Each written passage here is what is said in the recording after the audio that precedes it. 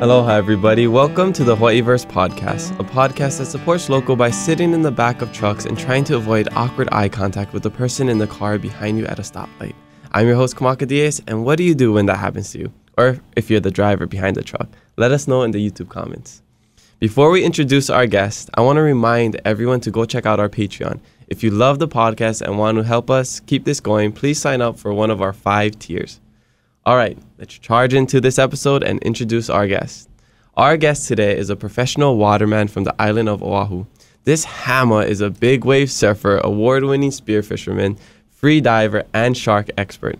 He earned his first surf sponsorship at age 13, went pro at age 17, and has since won many big wave events like Todos Santos and in 2008 won the Spearfishing World Cup. This husband and father of one is also a conservationist, skydiver, bow hunter, yoga practitioner, photographer, filmmaker, and part time Hollywood stuntman. He has devoted his life to the sea and is one of the world's most prominent watermen. He is the past Wave of the Winter champion, and I'm stoked he's here today. His name is Mark Healey. Aloha, Mark. Welcome to the podcast. How you doing? Aloha. I'm good. Happy to be here. Yes, it's good to see you slash meet you again. Um, I think we were saying like I don't know if we, we met at uh, Kimi Werner's. Yeah, I uh, remember now. I mean- shower. I had long hair. Yeah. Yeah, there's Oh, a lot. Was it at the baby shower? That Can was the baby shower. Yeah. Oh, okay. Mhm. Okay. Yeah, I was uh had a ti leaf and I was swatting away all the flies at the. Okay. I remember. um, yes. uh, the the food table. yeah. So yeah, it's good to see you again. you as well. Yes, I've I follow you. Uh, I see all your videos. My brother keeps telling me I have to get you on, so now you're here. so I hope you're watching this, Micah. so, but you're a true jack of all trades. Like, there's pretty much nothing you don't do. Um, there's all kinds of things I don't do. Um, I'm not very good at hanging doors. I Mm. know that. Um, in construction, my dad tells me about that all the time. But um, yeah, I just I, I think I have uh, in a way kind of a short attention span for things, and I can't just lock into one thing. Mm-hmm. It, there's just so many shiny objects to go chase in the world, and Yeah. things to learn, and uh, yeah, so I've kind of spread myself out. Yeah, but I would say you're not a jack of all trades, master of none. You're like jack of all trades, master of some. Right? I mean, some like a lot of the the water sports. Well, I I mean, it's on a sliding scale as far as I'm concerned. I I you know, it, it's hard for me to accept mastery or or the concept of mastery on so many things is because people mostly see the highlights. Mm-hmm. I see all the failures. Yeah, and yeah. those that's what sticks out of my mind more more so because it happens more often. Mm-hmm. So for every win, what people don't see is there's like 25 losses behind Yeah. that Yeah. um, I just keep coming back to the well. I guess that's my my strength. Yeah, you must be really competitive and with yourself. Like you always want to Yes. do better because I, I grew up playing sports all my life, and you know I, I could have a really good game, but I'm always uh, uh, telling myself, "Oh, you should have done better at like during that time. You should have done this. You shouldn't have done that." So I totally get that from that perspective. Same thing, and, and and it's like sports or any any pursuit I've done. Like the draw has never been to beat somebody else or prove that I'm better than somebody else, even if it is like a team sport or something like that. It's just if I can know that I did my best and I got better. Yeah, you know. yeah. So any like kind of like passion or like any uh, response that I have is based in that. Yeah, Whereas like some of my friends that are great competitors, they just like beating other people. yeah, they just get satisfaction. yeah, they're just like crushing people. Yeah. That's funny. All right. Well, I, I do have this great idea of a TV show that I've always wanted to do in the future. Uh, I think you would be a great candidate for, for being the, the main actor. It's, it's called uh, Jack of All Trades, Master of None, Chucks.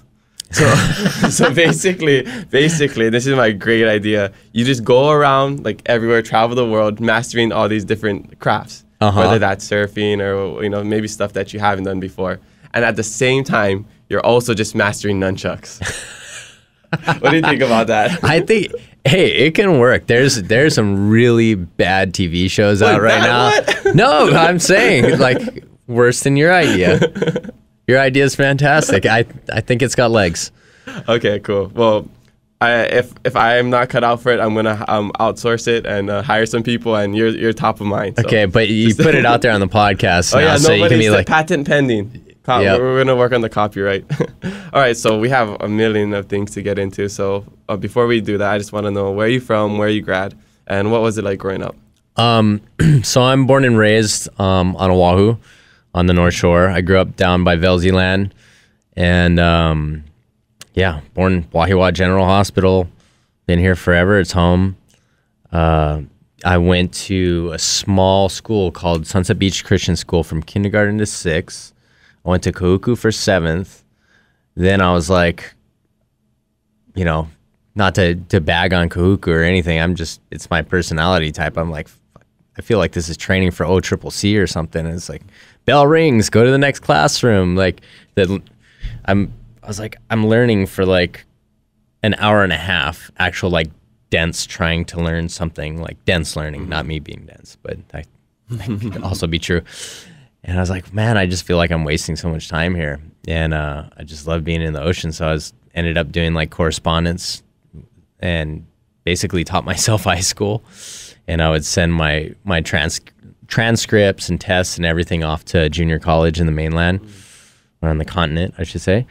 And um, yeah, that's how I graduated. So I started hitting the road when I was like, so right around eighth grade, I started traveling a bit. So I'd take all my school books and everything and go on a lot of these trips, With who? all of them by myself or Oh. with like crews of ad- adults. oh, okay. You know, meet meet people on the trip. Like I think when I was fifteen, I flew to in- India by myself, and then um, just to meet up with a bunch of Aussie crew. I remember showing up in Madras and being like, just getting mobbed by people and beggars, and I have a eight foot board bag to drag around and a big suitcase, and it's being like, oh my gosh, I'm really hosed if these people don't show up Yeah, yeah. and I had to just wait around. And finally, I saw like the one white looking dude in the crowd. I was like, oh, you must be Australian. I think we're on the same trip. That's funny. And your parents were cool with you doing all of this? Yeah.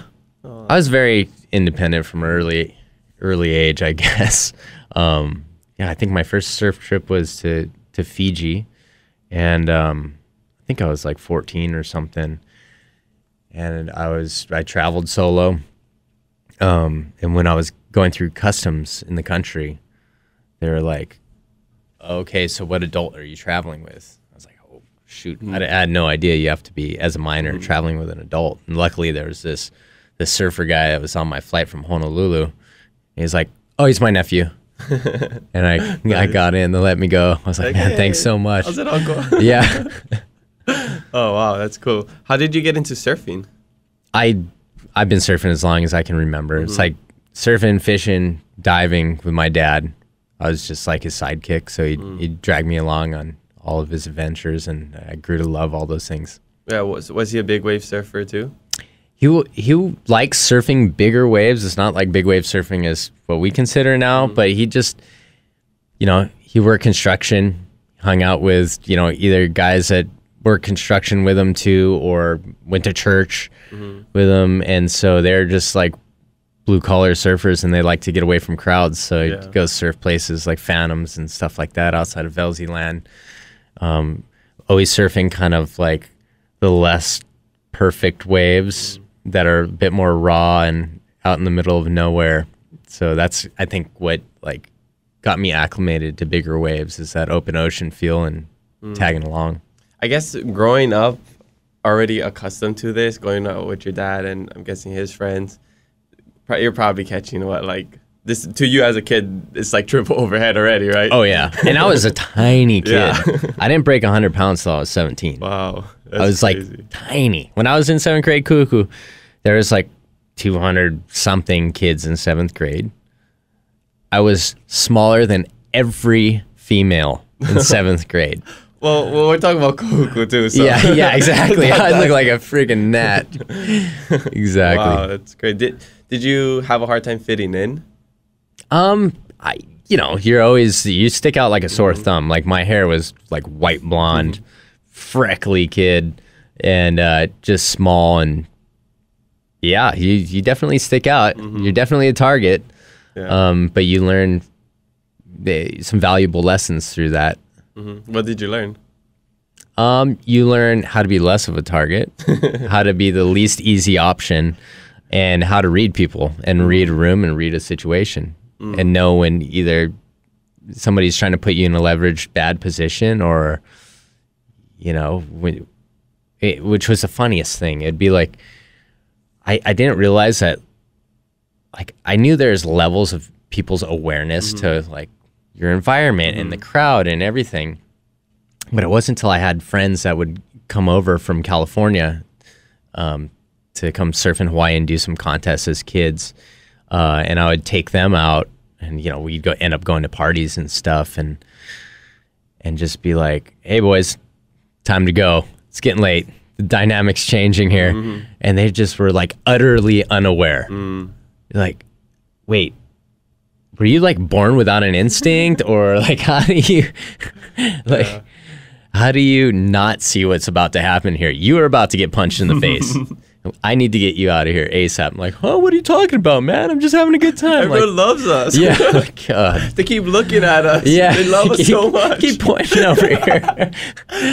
uh, yeah, That- but that's I guess those are the lessons in a general and broad way that Yeah. you get to learn. That's so funny you say that because I noticed that so much with like people. Well, because we're both born and raised here, so Yeah. there's a different level of awareness that you have to have culturally, socially, all of that. You know, just to be able to navigate this this world, right? Yeah. And people would come in, um, And you don't realize it a lot of time until, Until people you- visit yeah, and or you're you like, leave. there's a lot of yeah. Mm-hmm. like unspoken protocol and things. It's a respect based Yeah. Culture, and you know, there's differences. Yeah, as small as just taking off your slippers in the house, greeting people. Mm-hmm. Like one time, um, I was at my neighbor's house and they had family visiting from outside of Hawaii. I, I forget where, what state. And I go, I hear the doorbell ring, and I open the door, and I was like, "Hey, what's up?" And they just walk in. They don't even say hi. I'm like, "Wait, what?" I was like, I, I was like, "Oh, these people are definitely not from here. Yeah. you don't do that over here." Well, I feel like um, Hawaii is less anonymous. I feel like there's a certain sense in a lot of places, and it, a lot of rural places on the continent are are very similar to Hawaii, and I mm-hmm. feel like I fall right into that. But um, I think there's a lot of places where people almost just assume, and, and they're used to having interactions with people and being like, "I'll never see this person again." Mm, yeah. Whereas Hawaii, I think it's always like, "We're gonna see each other again." Yeah, exactly. we know there's one degree of separation or less mm-hmm. most likely between me and anybody that Yeah. we run into you know That's true. Especially growing up in a small town, like you don't, at least for the most part, you don't try to act up because you know you're gonna know somebody's auntie, uncle, cousin, brother, sister. So you don't want to do anybody wrong. That's why Yeah. the relationships you have here, the connections are so important. Yeah, absolutely yeah. I'm I'm curious because of um, that high level of EQ that you had um, just growing up, uh, just from the seventh grade, just going to Kahuku. Do you think that helped you with understanding other things like the ocean or like being aware of yourself in certain situations, like even surfing? Like okay, maybe um, like your your senses are more heightened. Like okay, I have to. I'm in a bad position on this wave. I'm gonna have to, you know, step up, go back, whatever. Do you think that helped you?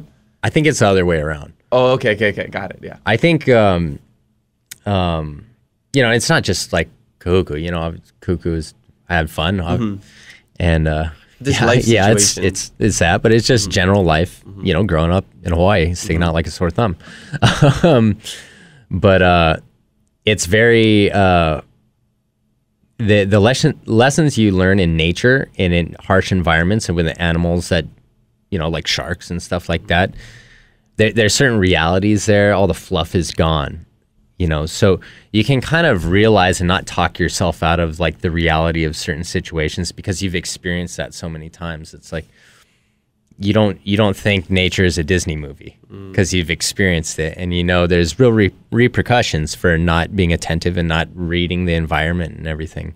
And I think uh, just that that mental mechanism of not I feel like people really talk themselves out of of uh, of things a lot. Like it- it's amazing, like no instinct at all okay, things are going real bad, but maybe I'll pull out my iPhone. There, there's there's shooting going on. Like maybe I'll film this. Like no, get down, dummy.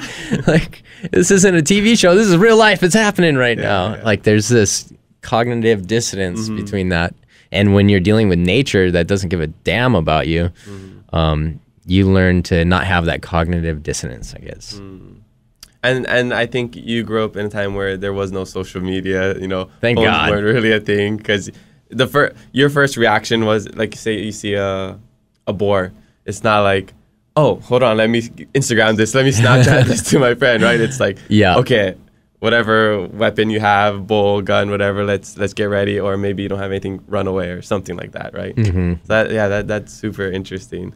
Um, yeah, I see videos on Instagram just like a volcano erupting or something, and people are just like, Yeah, I think I saw the same one. Yeah, and then they're like, "Is it gonna come near us?" That's exactly Yes. what I'm talking about. Yeah. I would be like running downhill, like trying to Yeah. get behind something and get some Yeah. cover. or at least do it uh, a little bit more tactically, like maybe turn it to the selfie camera, run, and then have it behind you, right? so just you know stuff like that. Yeah, Yeah. exactly. I, I totally get it. Do you do you ever get scared, or do, do you feel like you just kind of missed that that um, fear gene just missed you because you grew up in all these crazy situations? No, yeah, I, I, you don't get get scared too. I guess I, but it's the way you file. I feel like there's a lot of different flavors of scared, and this is where, um, um, I think the English language is super limited. We have these, you know, if for instance Hawaiian is mm-hmm. like, I remember being told that there's like, you know, teens, like 14 or 17 different words for gray. It's very mm-hmm. specific, mm-hmm. whereas English is is not very specific. And fear, for such an important word, there's not a lot of variations around that. So yes, like I I'm like, okay, this can go really bad and things aren't looking so hot for me right now. I might get seriously injured or somebody else might. Um, but I'm not when I think of fear, I think of like an uncontrolled panic of the mind or the at worst it's mind and body. But I, I guess I've I've been able to operate in those situations and I get a bit more focused. Um, that's when I can I double down. What I like to say is you're you're taking a poem and turning it into a math problem. So I pull the emotion out of the situation and I'm just nuts and bolts focused on what's in front of me. And I've been able to compartmentalize well. Nice. Yeah. I, So- I'm similar. Yeah, so it like fear, yeah, get scared a lot in that stuff, but it's like what's my definition of fear compared to the listeners? hmm Yeah, I think compartmentalizing is super important in uh, all aspects of life. I mean, it's a good thing and bad thing. Depends Yeah, how you it's double-edged right? sword for yes, sure. exactly. But uh, taking emotion out of how you react to thing is things are um, is so important because when you react react emotionally, you think irrationally, Yes. and all logic goes out the window. All your you know We've watched it for Yeah. what, 2 3 years now exactly. at a mass scale. Yes, exactly. Uh, fear mongering, all Yeah. you know, this crazy scare tactics. People will do anything Yeah. when they're scared. Yeah, I know that. It was crazy to see stuff like that on mainstream media, like the news. I remember seeing a COVID commercial where I, I had no idea it was a COVID commercial at, at the beginning of it because it started off with this like young girl walking down the street. It was this almost black and white, like very gloomy, Mm-hmm. and it's like it's coming for everybody. And something something, and then like it and it ends up being like COVID's here. Like get your vaccine. I was like, oh, I did not expect that. That's crazy. I'm going to try not to cuss on this podcast. oh, no, I'm like, no, you can. No, we, we have no those rules people can fuck right Yeah. off as far as I'm concerned. It's like the manipulation and oh man, it's it's just crazy. Yeah. we could, obviously could go down a rabbit hole on that. Um, but regardless of where anybody stands on that stuff, if you haven't recognized and observed how people act on mass when they're afraid Mm-hmm. during this process, then you really missed out. Yeah, and I think that um, has to do with the awareness um, Mm-hmm. aspect of things. I think, uh, especially if you if you've seen situations similar to it, you're you're more um, attuned to like noticing those things. Yep. because like I, I right before the pandemic came um, happened, I was in Madagascar. I, I lived in Madagascar for three years, super corrupt place. Oh wow. Um, uh, I was in the Peace Corps, so I, was volunteering there. Um, also, someplace you should definitely. I've been I've almost gone like three times. Yeah. Okay. So whenever you want to go, let me know. I give you some good suggestions. Um, Awesome.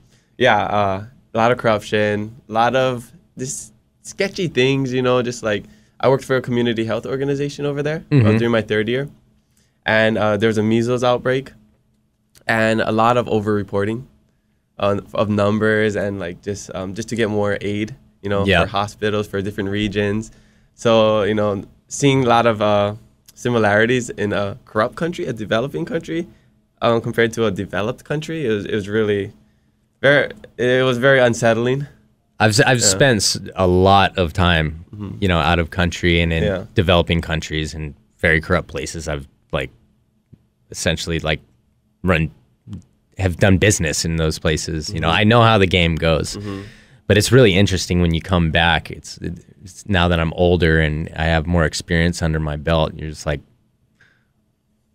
we're just as corrupt. It's just hidden better. exactly yeah. We just put this like plaster over it. It's just as corrupt. It's Yeah. it's almost worse. yeah and They, they're just a disorganized corrupt. Mm-hmm. This is an organized corrupt. Yeah. So if something, if there's there's something negative like corruption, I'd rather have it disorganized than organized. Mm, because it's more obvious Yeah. Well, and and it's more efficient and effective. Mm. The corruption. All the propaganda too Yeah. Yeah. It's a machine. yeah I, I first learned about the word propaganda when I was living in Madagascar because there's during uh, I was there during election season mm-hmm. and then there's a lot of civil unrest yeah they like they use the word propaganda as well but as like a because of the French word propaganda they use it Oh, is it a French word? uh, I think so because they're Propaganda. French, uh, I don't yeah. know how you'd say that. Yeah, I mean, I'm pretty sure it's a French word, propaganda.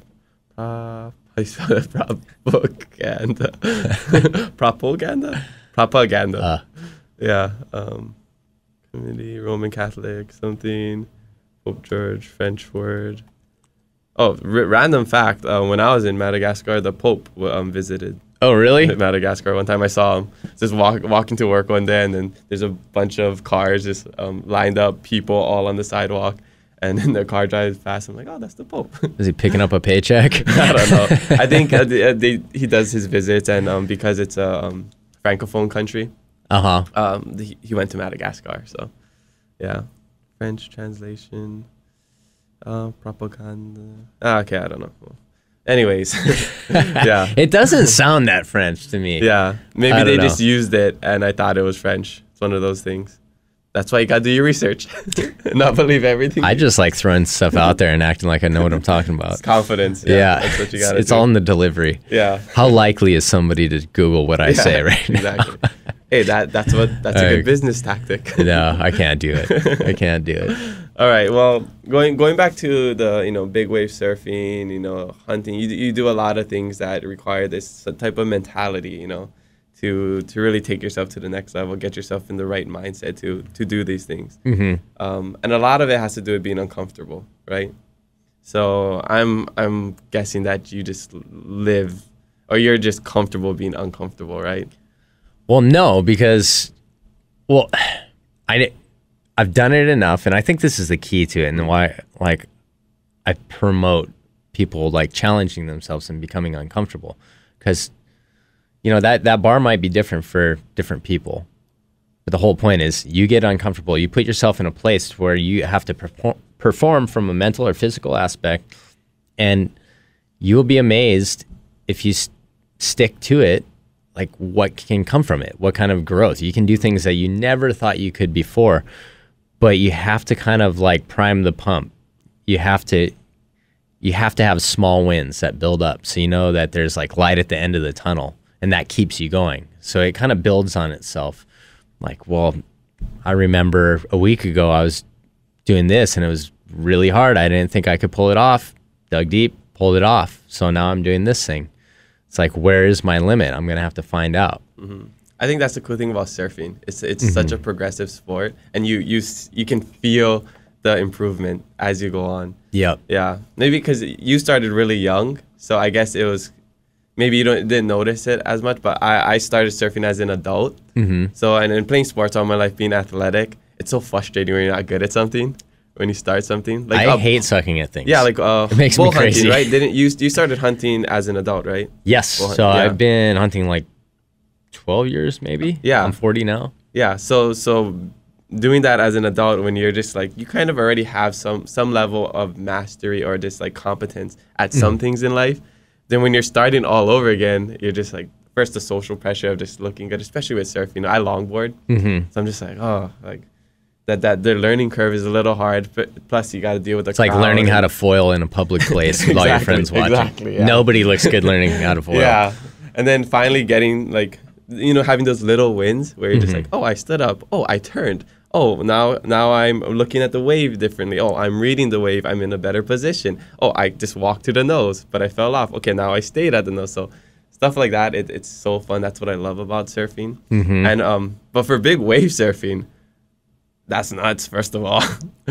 Well, it's it gets tricky at a certain point because you're like building, you're having that that incremental pros- Mm-hmm. progress, and uh, you hit a certain point to where all of a sudden, like to go to the next level, it's like a weather event that doesn't happen that often. yeah. Yeah. You know, you're It's like, I want to be better. I want more. I love doing this, and it happens like twice a winter in Hawaii. Yeah. And like Sometimes once. anything you you're used to surfing.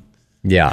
so like because you're like, okay, I've surfed 20 foot waves, surfed big waves, and I want to surf bigger ones now. And you could wait like two years Yeah. unless you hit the road and travel. Hmm. And you chase winter around the world and go to the southern hemisphere during our summer. Yeah. And then you get the exposure. So that was like the impetus to really chase big waves and explore and go find new ones in different places in the world is because otherwise I'd just be sitting on my thumbs and not getting the the progress out of myself that I want because hmm. it's it's so much about exposure and experience with that. Yeah, yeah. How how do you go from like like to, to that next level? Is it is it all just relative? Like you, if you can catch a wave, you can catch and like whether that's you know a five foot wave or a forty foot wave. What's what's the difference like? Because honestly, I'll, I'll- I will. Well, first of all, I will never ever catch a forty foot wave. like I don't want to die. It looks fun. Like you know, I don't think the the risk reward is worth it for me at, at this point of my life. Um, but like I don't know how I would even practice for that, you know, because like the gap between like a little like the biggest wave in town mm-hmm. compared to like something at Waimea or anywhere else in the world is just how do you practice for that? It's you just had it's exposure. Yeah. It's coming back. And that's why it's so intimidating that you have to have multiple chances because you're going to be intimidated and that's the last thing last mindset that you want to have coming into it because you have to be 100% commitment like all systems go Full send. because I mean, as the the waves get larger, the swells get bigger. It's waves are moving way faster. They have exponentially more volume. Um, so usually, say like a big day at Jaws, those waves are moving around. Just a swell coming in, it's moving around 25 knots, so a little more than 25 miles an hour. Um, a little more, a little less. Somebody's gonna check me on that one. Um, but uh, yeah, it's it's moving fast. It's very intimidating. I, I'd liken it to if if you've ever been very close, like to an elite class athlete in a sport that you enjoy. It'd almost be like you know if you you hit the gym, do some training, like some stand up or some jujitsu, and then you know a elite level UFC guy comes and just starts toying with people, and you're like, oh, there's like That's the gap right there. there's a giant gap between me and this guy, or um, or seeing some kind of high level event in person and for the first time. You're like, oh, this is all happening at a completely different speed that I don't even. A, my body isn't physically capable at the moment to do this. B, I don't even think my brain can process mm-hmm. how fast things are going. Mm-hmm. Like, it's like taking a little league kid and having a a professional baseball player mm-hmm. throw a pitch at him. Um, that's the difference to me from small waves to big waves. And um, it it really is a mental hurdle. Like, look at me, I'm not anywhere near like the top 300 surfers from a technical perspective. Probably, I'm like I'm at like the bottom thousand on Earth.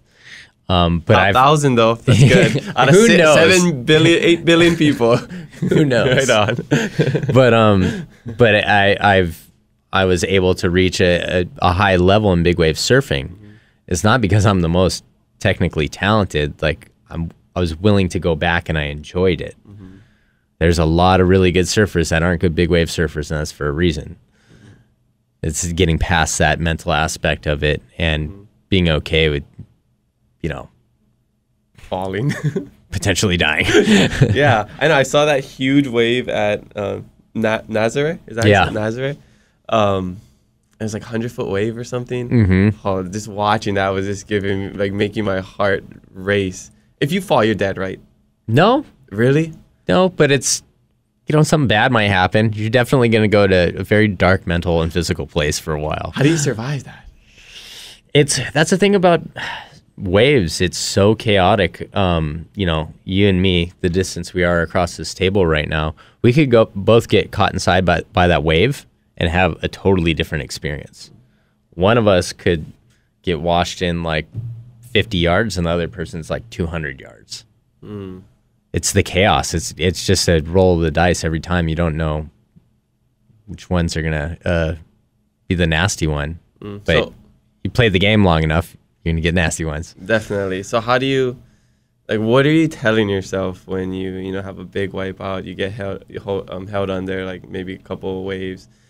Like what? Where do you go in your mind to get through that? And also, what is your, the the longest you can hold your breath for? It's um, I go. I just try to go completely inward, basically, and and just focus on calming my mind. I'm using a mental mechanism that I've found through putting myself in very extreme discomfort willingly in a controlled environment. So that's where you find those things that work for you mentally. Now I'm using it, but it could be. I, I've found that I kind of flip through the channels to see what's working for me that day, depending on how I feel, what mood I was in that day. You know, sometimes I could be imagining that I'm in like a mosh pit, so I'm like, yeah, I like this, like this violence and this movement. And other times, you know, I'm going like way deep, meditating, basically, um, or just uh, really like hyper focusing on uh, uh, sensation. Like I'm just gonna focus on how the water feels on the top of my right hand, and I'll just go there. Um, but it's different mechanisms for different people, uh, and uh, yeah, it's just your your biggest foe would be panic.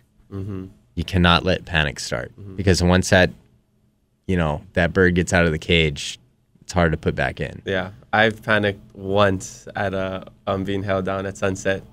Yeah. Bad idea. that was the closest I've ever got to drowning because I I broke a board. Mm-hmm. Um, and it was I didn't uh, fall off the wave. Uh, it was when I was going back out, a wave broke over me, Mm-hmm. um, and I did. I was still kind of early on, so I didn't really know how to.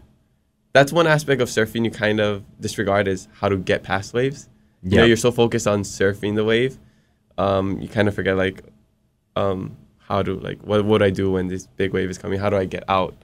Um, and I was used to surfing town waves, right? I, I Mhm. learned in town, so it was my first time surfing North Shore, and it was actually like pretty big. Um, and then I remember getting, I got hit.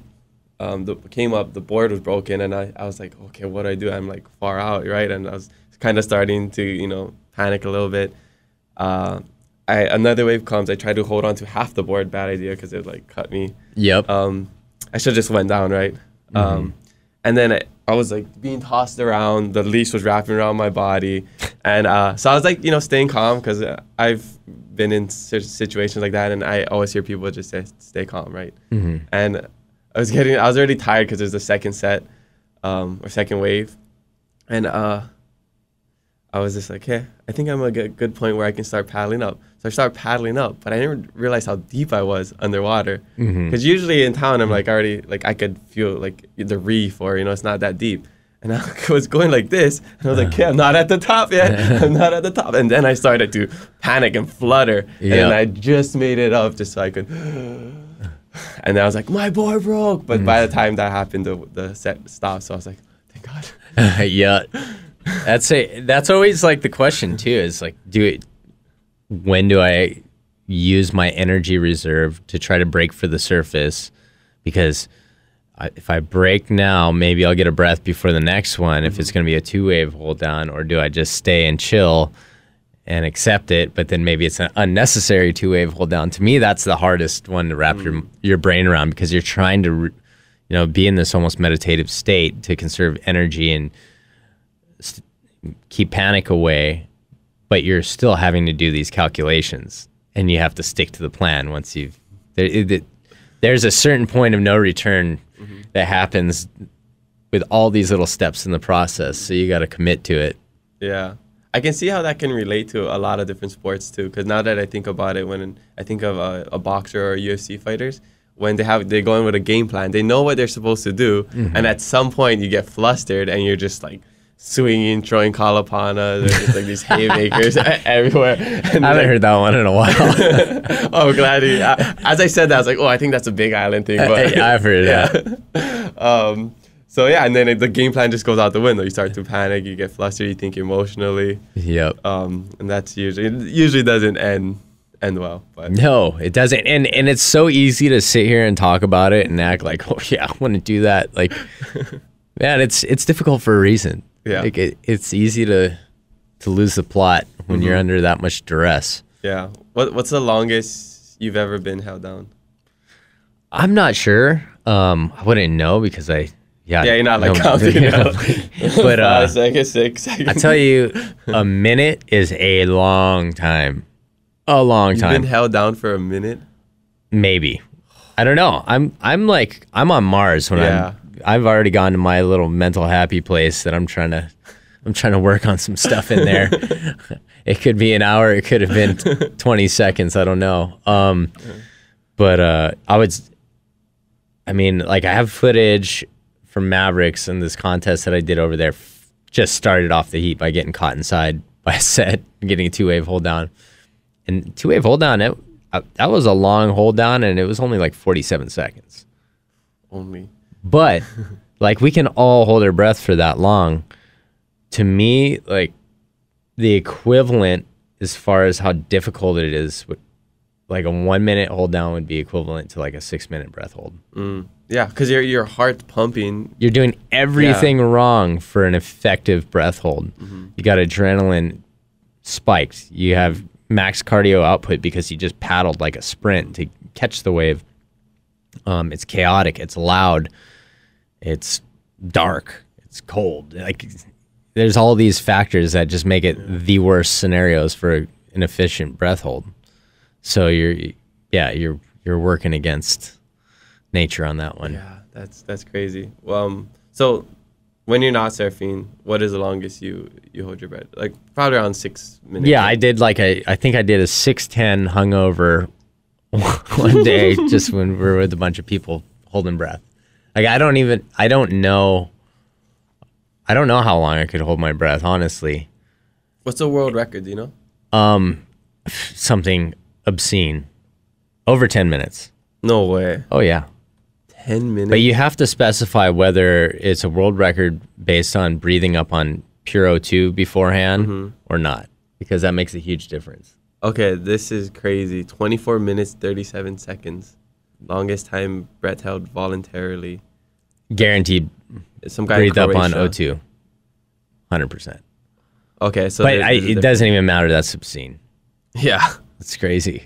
Wow, that's that's that's crazy. I think the longest I've held my breath before was like in a pool for a minute. Growing up, you know, you just like try to do it, and you have somebody time you, or you try to swim to the other. Which end is of the super pool. dangerous. I, like PSA on this one. Don't hold your breath in any kind of water unless you have like a person who knows what they're doing, eyes on you 100% the whole time. Like so many people die in pools blacking Really? out. I'd be dead if I didn't have uh, friends helping me. But of course, I have my dive buddies, you know, in four foot deep pools. Mm-hmm. Like, hey, I'm going to push it really hard. I'm probably going to black out. Next thing I know, I wake up on the deck. Huh? Wow. So that's you know? that's but once you lose control, you're done. yeah. So don't do it alone. Oh, definitely. yeah. Okay. And because you, cause you're a free diver, spear fisherman, Mhm. you gotta practice those things too. So it, it all helps out with the surfing. Everything's related. Um, so what is the training like? How does somebody train to hold their breath like that? Um, I mean, y- there's pool exercises. To me, the best start is to start working on um, like rib cage and gut flexibility, and working on that lung volume there. Um, doing a warm up every time before, night and day difference. So so many people think that they can't hold their breath that long because somebody's like, okay, now hold your breath. Like nobody on the planet, their first breath hold is the best one. You gotta get your body acclimated, like to know, like, hey, this is what we're doing. We're, we're gonna deal with some CO two here. So warm ups are a big deal with performance. But um, I always say like just not being tight, doing that stretching with your gut cavity and also your rib cage. Um, because if you think of your lungs like a balloon in a bird cage, you can only blow that balloon up so big because the bird cage is holding it. The bird cage eventually has to get bigger. So that means your ribs need to be able to expand out. And just as importantly, um, your guts need to be able to drop drop down because that lower lung area is where most of the volume is. So it's got to be able To, it can only expand out sideways so much. It's got to be able to expand down as well. So flexibility is a big one. So it's just like breathing exercises, like Yeah, or like- yoga. Yep. Mm-hmm. Yep. Okay, thing. And uh, so, how, what, what are your um, physical and mental practices like to to get you in the top shape? Give us all the the tips.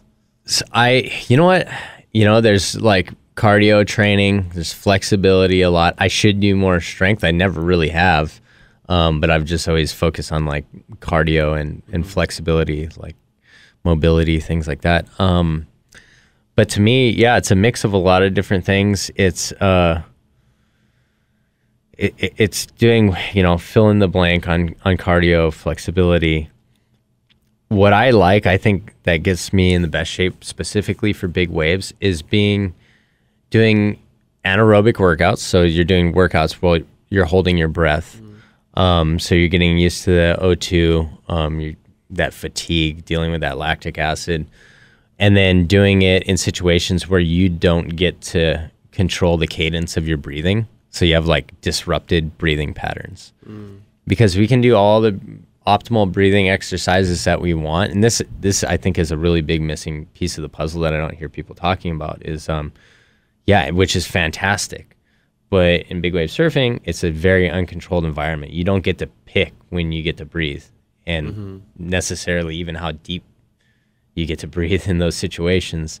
So being able to actively recover and figure out how to like body surfing like if I want to get in good shape, I'll body surf a lot. Mm-hmm. I got surf pipeline in the morning, head out, body surf for a couple hours, um, because it's a disrupted breathing pattern.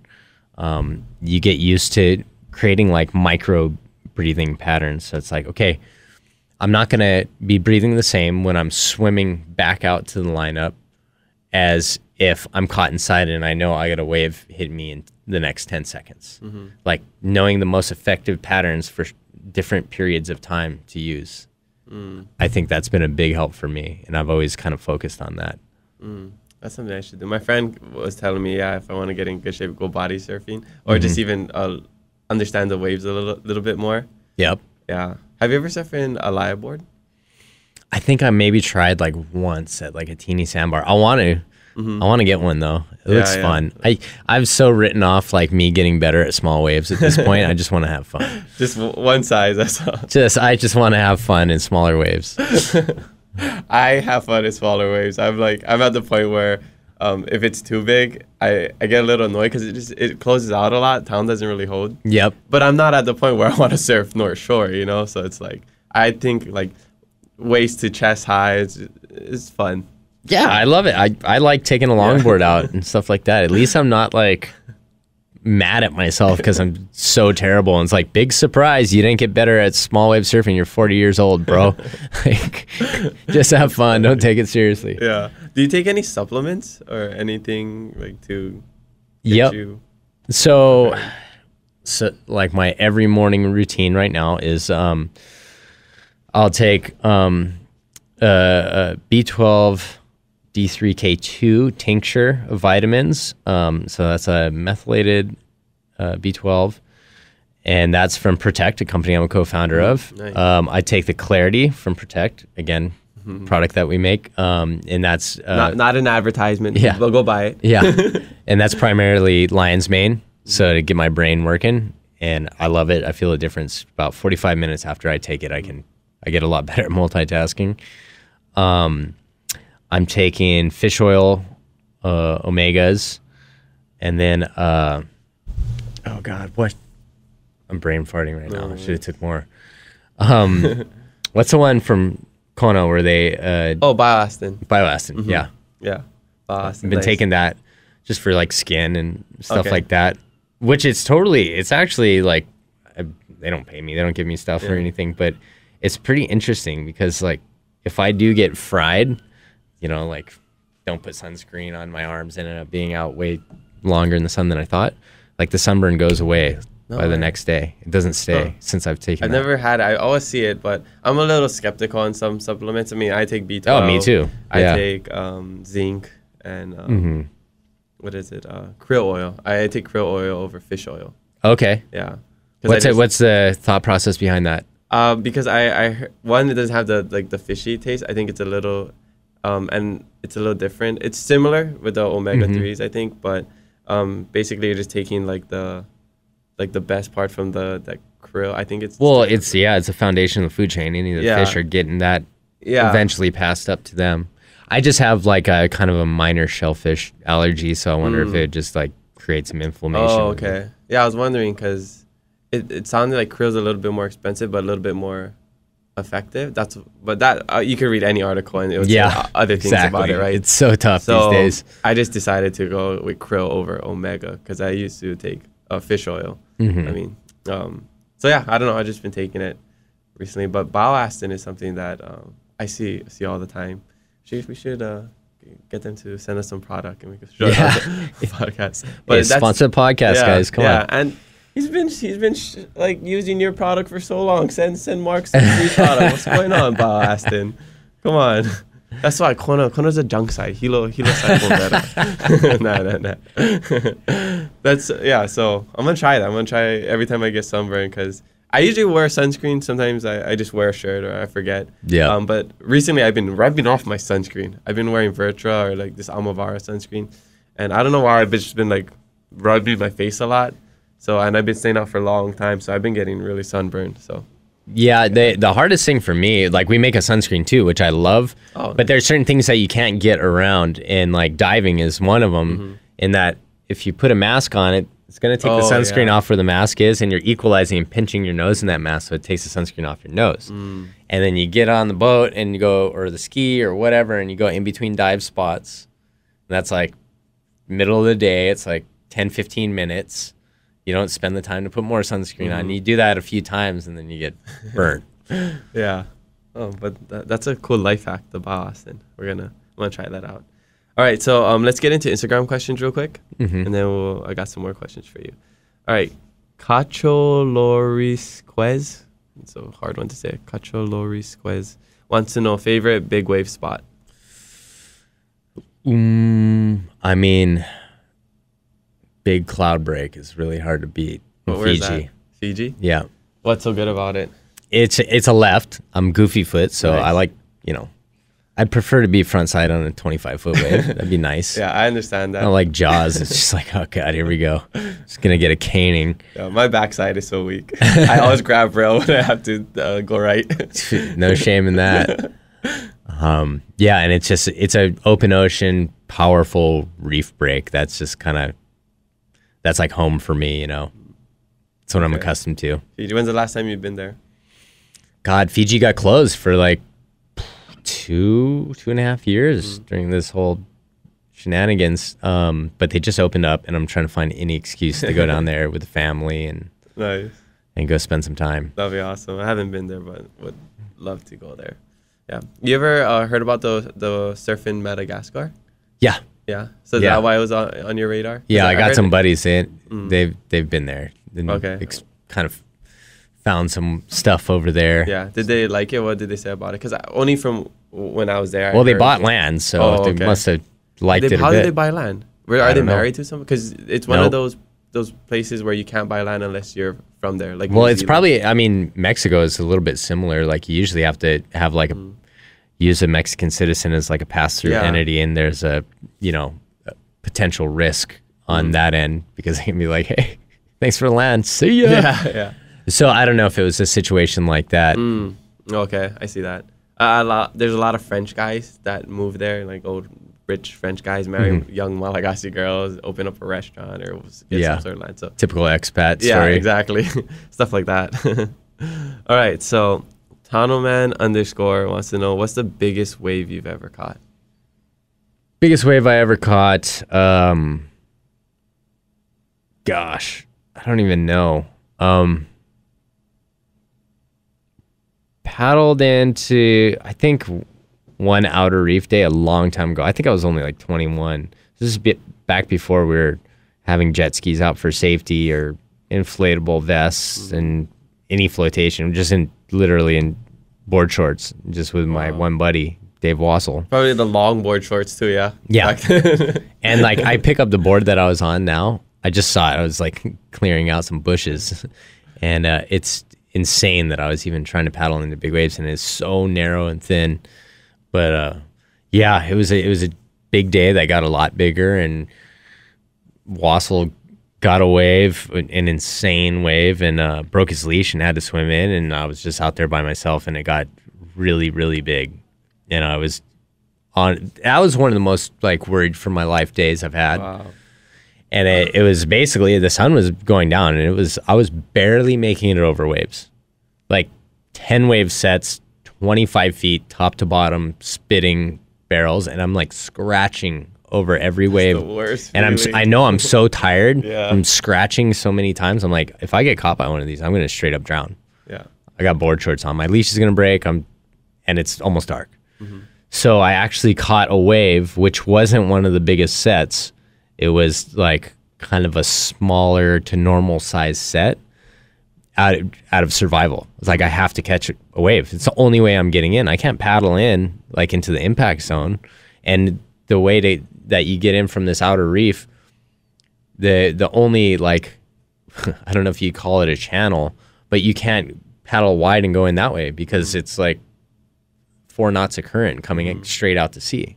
So there's one way to get back in, and that is to catch a wave or have a wave catch you. Dang. I decided to catch a wave, and uh, it was really big. Uh, I don't know. The size.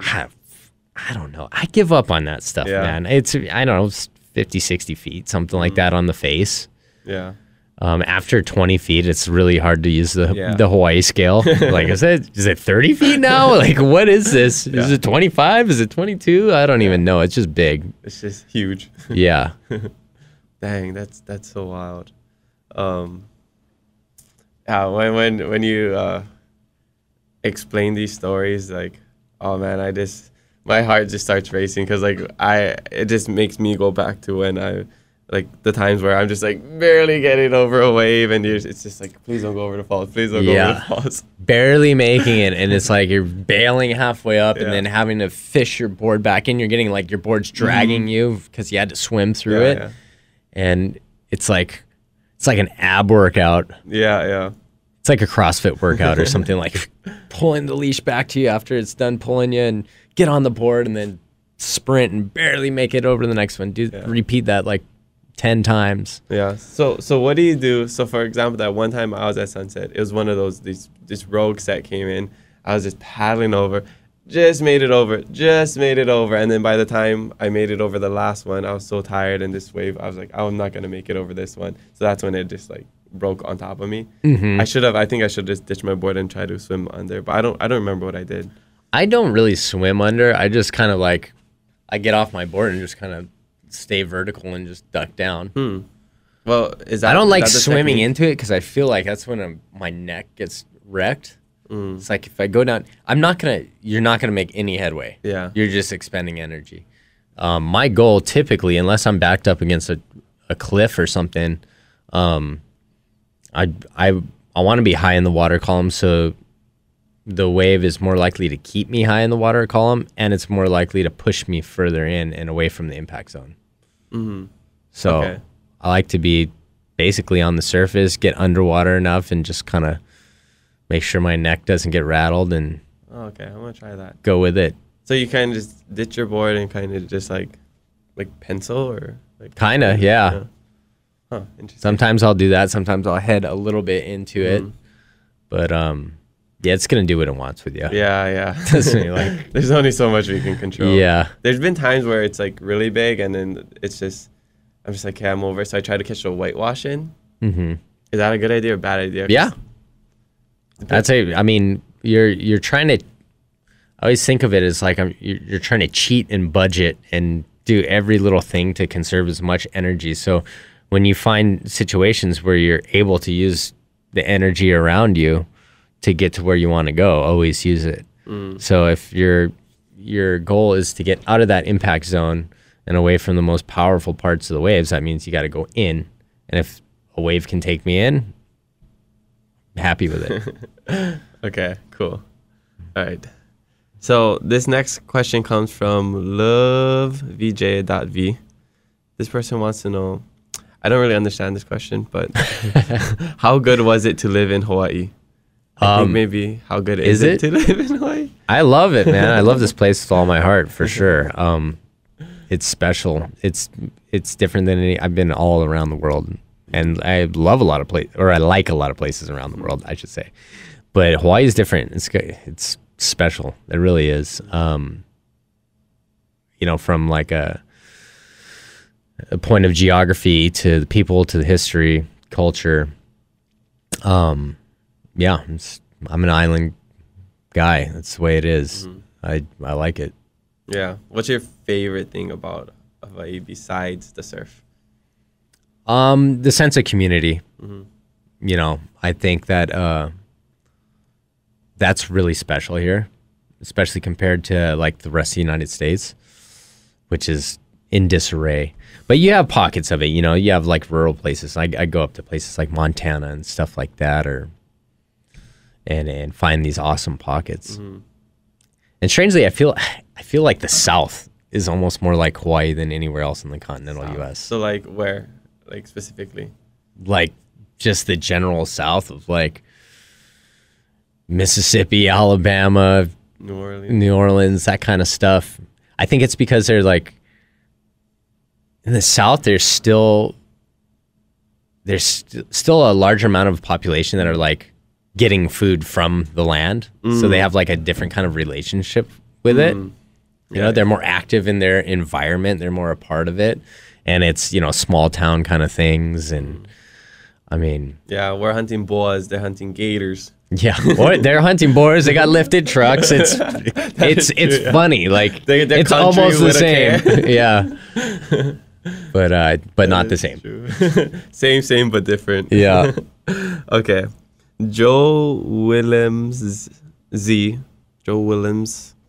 Some people got so so such hard Instagram handles sometimes. I'm just glad you're, Yeah. you're reading them, not me. How, uh, this person wants to know how did you meet the goat Kimi Werner? Um, I met Kimi through um, just mutual dive buddies. Uh, gosh, I don't even remember how. I think I think the first time we all hung out um, was uh, me and my wife. We weren't married then, and and Kimi and and Justin, her now husband, uh, and up at their house in Pupukea, and we we were working on like a video piece or something and she oh yeah she was working on a video piece for something. Um, so i was like yeah yeah i'll come and do it and we hung out for a bit. I think we ended up one thing led to another and it's like 1 a.m and we ate a bunch of mushrooms and we all all had a good fry together and we've been like family ever since Wow. It's because of the mushrooms. The mushrooms tied together. That's so funny. it's like okay this is, we'll all get along here That's awesome. Yeah, Kimi's so awesome. Justin's awesome. She she officiated your wedding, right? yes Yeah. yeah she married us That's and I officiated hers. Oh no. Justin's, yeah. That's awesome. She got I- me back. I'm an officiant too, so I just officiated my um my friend's wedding. So easy, anybody can do it. Yeah, exactly. It's, it's a little scary. Yeah, No, it is. Yeah, I, get just- those emails every now and then. I'm like, I'm a reverend. Yeah, yeah. I need to put that in my Instagram title or something. I should have put that in your your introduction. Yeah, Reverend Mark Healey. Just it, that would be a fun little thing, like a competition between a friend to like stack as many like meaningless titles as you could and see how who has the most. That's the most. Yeah, Make business card at the end of the year, so you guys That's has the most that you can just get. yeah, yeah, yeah. Oh, interesting. Yeah, I'm gonna think about that. I'm gonna, I'm gonna um bring that up to my friends in Hilo. Yeah, what they think. Esquire. Yeah. Reverend Esquire. well, I definitely would put fantasy football player, professional fantasy football. Oh, player. nice. Yeah. Even though, how would you even say you're Fantasy in really small font. No, no, people. big, big. I want the whole world to know. There's nothing more real than fantasy football. That's what I say. okay, so uh, this next question comes from the same person. Uh, they they want to know what is it like to live in Hawaii as a non-native. Um. Well, I mean, define non-native. Born here, I'm not. I'm not like Kanaka. I'm not yeah, like I think Hawaiian. that's what they mean. I'm white boy, obviously. Um, but I mean, it's home. It's all I know. Mm-hmm. But it's weird to have a place that's home and it's all you know. It's like literally where you came into this conscious life, and and still like you're kind of on the outside sometimes Yeah. too. Um, but that's just the nature of it. Mm-hmm. That's the way it goes. I'm not gonna complain about that. But I mean, it's funny because you know we judge people off the color of their skin. Uh, but there's a lot of local people, Hawaiian people, that are Hawaiian that don't act Hawaiian, and there's a lot of people on the opposite end that don't look Hawaiian but are way more local and Yeah. act Hawaiian than The the best is growing up and it's like my Filipino friends calling me a Haole. I'm like, bruh, you don't got an ounce of Hawaiian blood in you. I don't either. Don't you dare do this to me right now. But you know, just as joking. That's that's a good thing about Hawaii too. Mm-hmm. That's one of the things I like is you can make racial jokes Mm-hmm. and it's still funny. People like we can never lose that. Like yeah. people don't take themselves as seriously here. Mm-hmm. You know? Yeah, I've I've had conversations like that um, with other people about how things have changed. You know, the whole PC culture. Mm-hmm. Everybody's sensitive. I do believe. You know, I try to be respectful to it. Yes, yes, obviously. But I do believe everyone is so sensitive these days.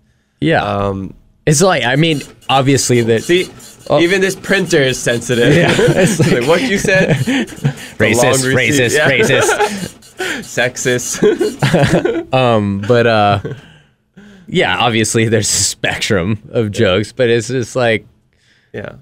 some of my some of my really close Hawaiian friends will be like, "Hey, fucking Ollie," you know, across because they know that'll just get me like, Yeah. "Ah, you, you son of a bitch, I what's up, you dumb moke?" Yeah, yeah. but that's but that's our banter back and forth, you know. And you do it with people you're comfortable with. You know, you, if you're yes, if I'm Yes, saying exactly. like somebody, oh, you dumb haole to somebody I don't know, then that's a little bit more offensive, right? Totally. Yeah, but, But we- I'm, I'm glad generally, like with people you're comfortable with, it's Yeah. not like a big deal. It's, yeah, yes, I I totally agree. I think especially growing up where a lot of things were more weren't so off limits. You know. yeah. Um, and our culture, like we were, look at all the comedians back then. It was all cultural, ra-. Filipino, Portuguese, Japanese, Haole, Hawaiian, Frank all these Lima jokes. rap, Like- Reiplinger. Exactly. We can say know. I can tell you all the stereotypes we have. You know, Portuguese are dumb. They talk too much. You know, like But it, it, everybody can laugh at it because it's like, yeah. yeah, you're not taking it seriously. It's just like kind of like a, a little pivot point to have an excuse to make up funny stuff. Yeah, I don't, yeah. I don't know. yeah. And there there is some truth to a lot, like a lot of um stereotypes. You know. Yes, stereotypes are Yeah. stereotypes for a reason.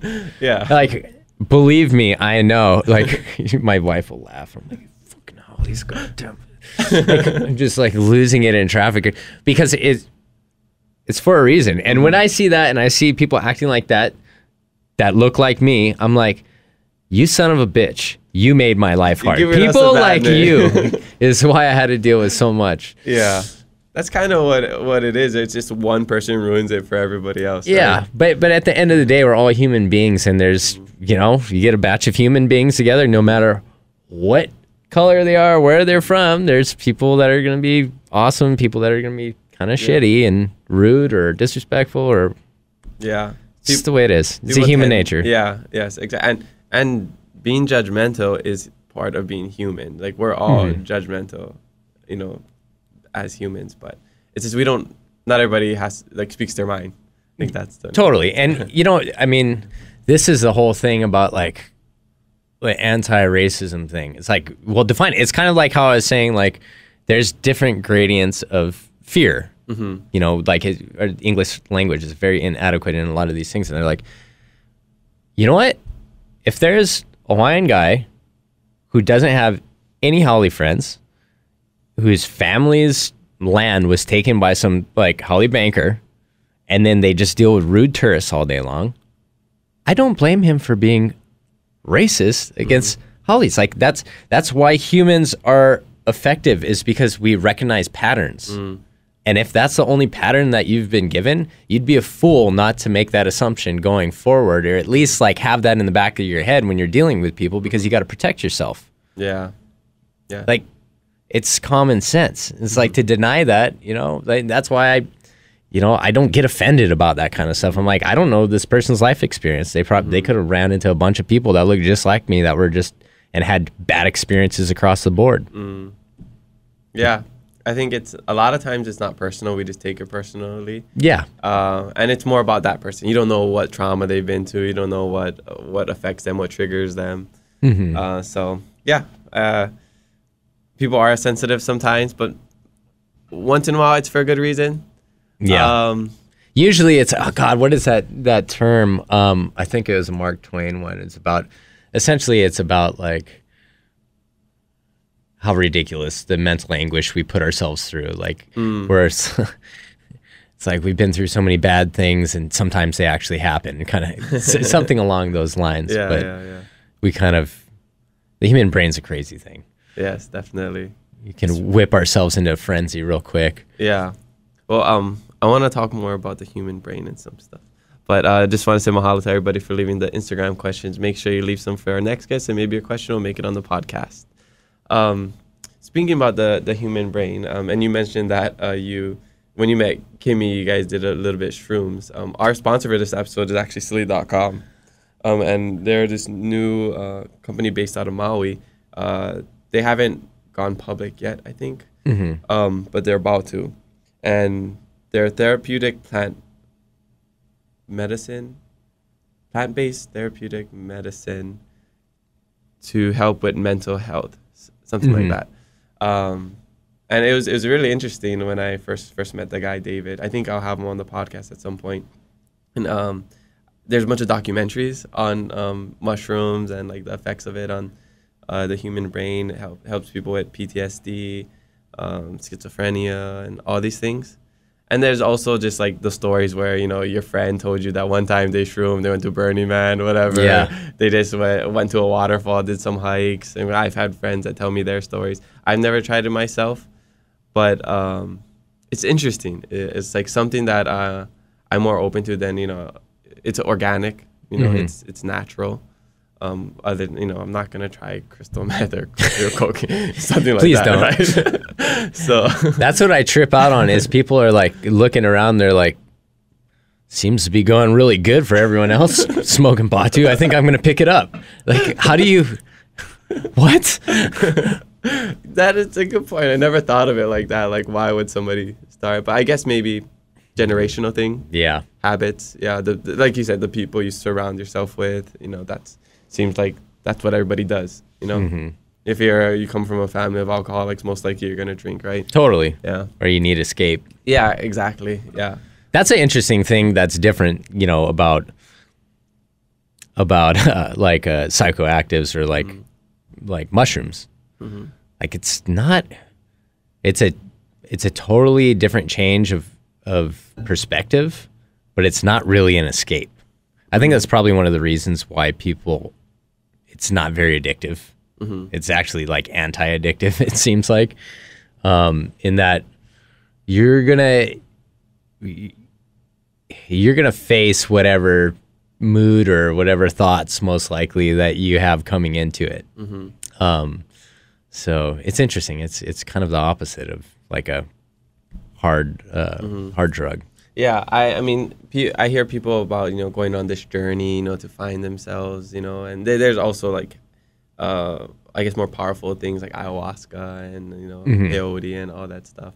But like microdosing, um, it's like that's that's the stuff where you can do just like you take and you can just go on your your regular day and just like I hear it's like everything becomes more vivid or you know it's just you maybe you learn something or you just you have more appreciation on life and stuff like that.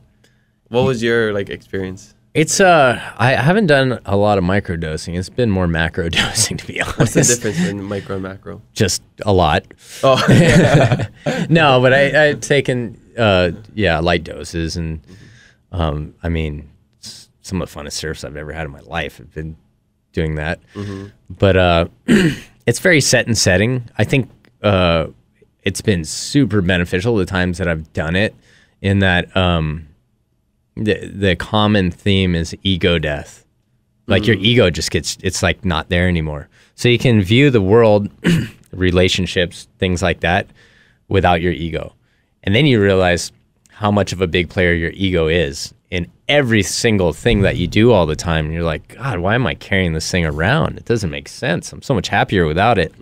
So at least you, you know, whether that sticks or not, at least you got to feel what that's like and have a reference point.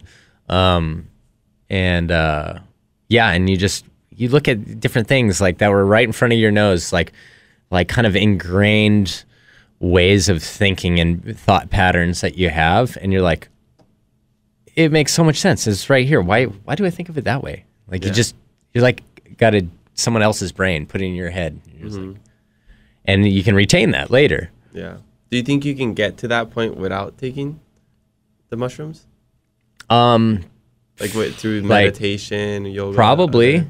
probably. Mm-hmm. Um, yeah, I, I I would imagine so. Mm-hmm. I mean, the it's just triggering. The mushrooms are just triggering something that's already in your head. Yeah. Like that's that's an interesting thing when if you are on mushrooms and you're like, when you remind yourself like, this is all in my head. That was mm-hmm. just like something that triggered something that was already mm-hmm. there. Like, wow, I had no idea that this was in there. Yeah.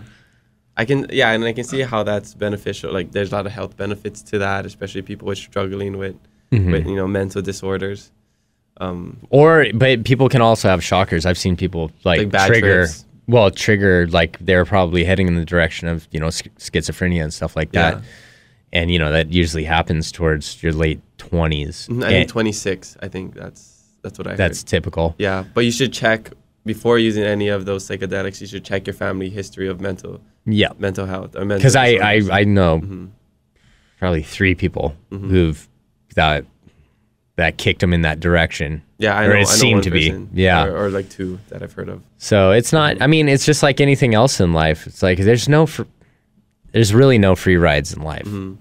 Like everybody wants an easy button, but you have to use your brain. You have to think like, what's the cost benefit on this thing, Yeah, yeah. and how do you I use it? What's best for me? What's Yeah. best for me might not be the best for everyone else. Like use your noggin. Oh, it sounds like something else. but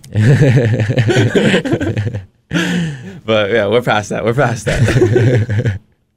okay, well, um, I I want to know. So, growing growing up on the North Shore and that you know surf culture, there's a lot of tourists coming in and out. There's also a big local culture over there. Mm-hmm. You, you said you you stuck out like a sore thumb. Um, did you ever feel like you had to like prove yourself to fit in with everybody? Well, yeah. I mean, I guess anybody listening to this, it- mm. compared to like, you know, some suburb in in like Orange County or something, like I, Hawaii is that's the culture. It's like it's a this is a warring culture. Mm. Not that long ago, like there there definitely is like a rite of passage kind of expectation for young men. I think so. Yeah, like you have to prove yourself. Yoda, have a gold chain, stun of shades, t-shirt. well, and you, you got to You're. supp- I mean, if if you're not doing something courageous or proving yourself or this, that, or the other, you're acting like you did. Mm-hmm. You know, exactly. no, yeah, there's not a lot. Like, I would say by and large, that's an expectation of a young male. So yeah, I was like, hell yeah, I want to prove myself. I'm down for this game.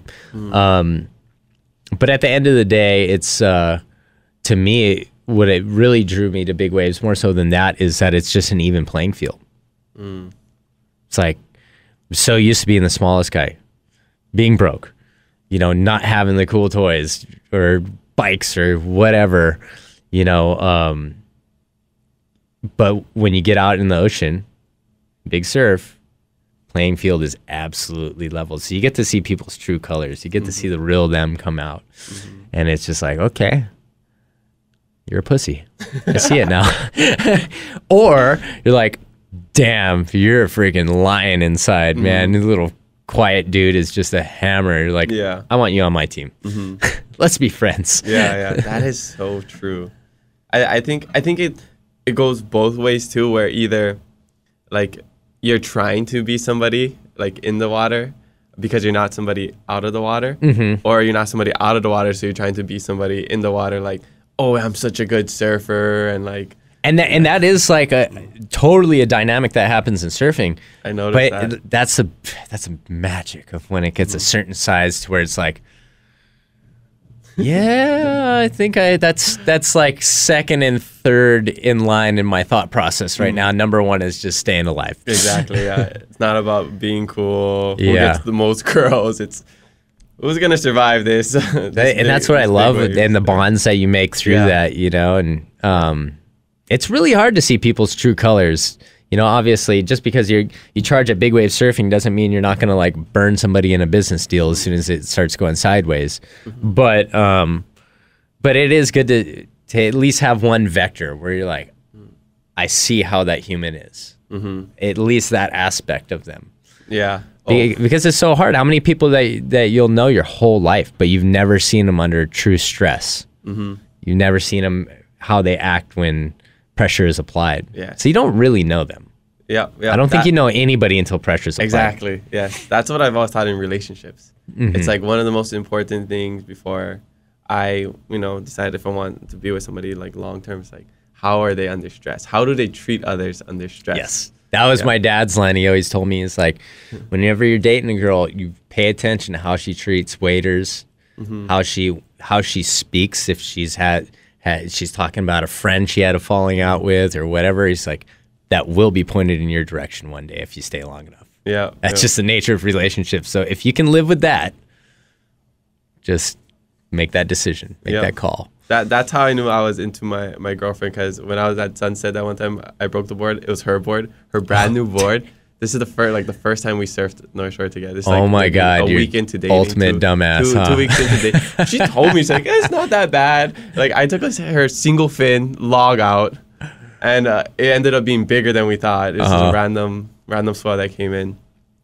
Uh, so I, I was like I was at a disadvantage, but I caught all the waves, so I'm a little proud of that. Um, but when I when that happened, I was like, oh, she's gonna be like so pissed. It's her brand new board. I felt so bad, but like she didn't even the one thing when that all happened, she was just like helping me paddle in. She grabbed the other board, like checking if I was okay. I was like, like, Bob, like I was like, I swallowed so much water. I just was like sitting there. She's like rubbing my back, Oh, jeez, Uh, what a keeper. and and then she didn't even get mad. I was like, okay, you got you like you gotta be a little bit mad, right? I just broke your board. I bought her a new board, but um, yeah, she was like so calm under pressure. Like moments like that yep, where it's just like you see somebody's true true colors. yep, Yeah, definitely. yeah. So it's it's really really important to see that type of stress. Okay, so um, that uh, going back to um, you you trying to like um, prove yourself. Did did you feel like doing these things like surfing, maybe getting into um, like spear fishing, all of that helped you like improve your like local social status? I think it was. Uh, I'm lucky in that in that they're a, a win on both ends. I guess. Yeah. Um, I just like escaping. I like raw nature. It's you get to go do your thing.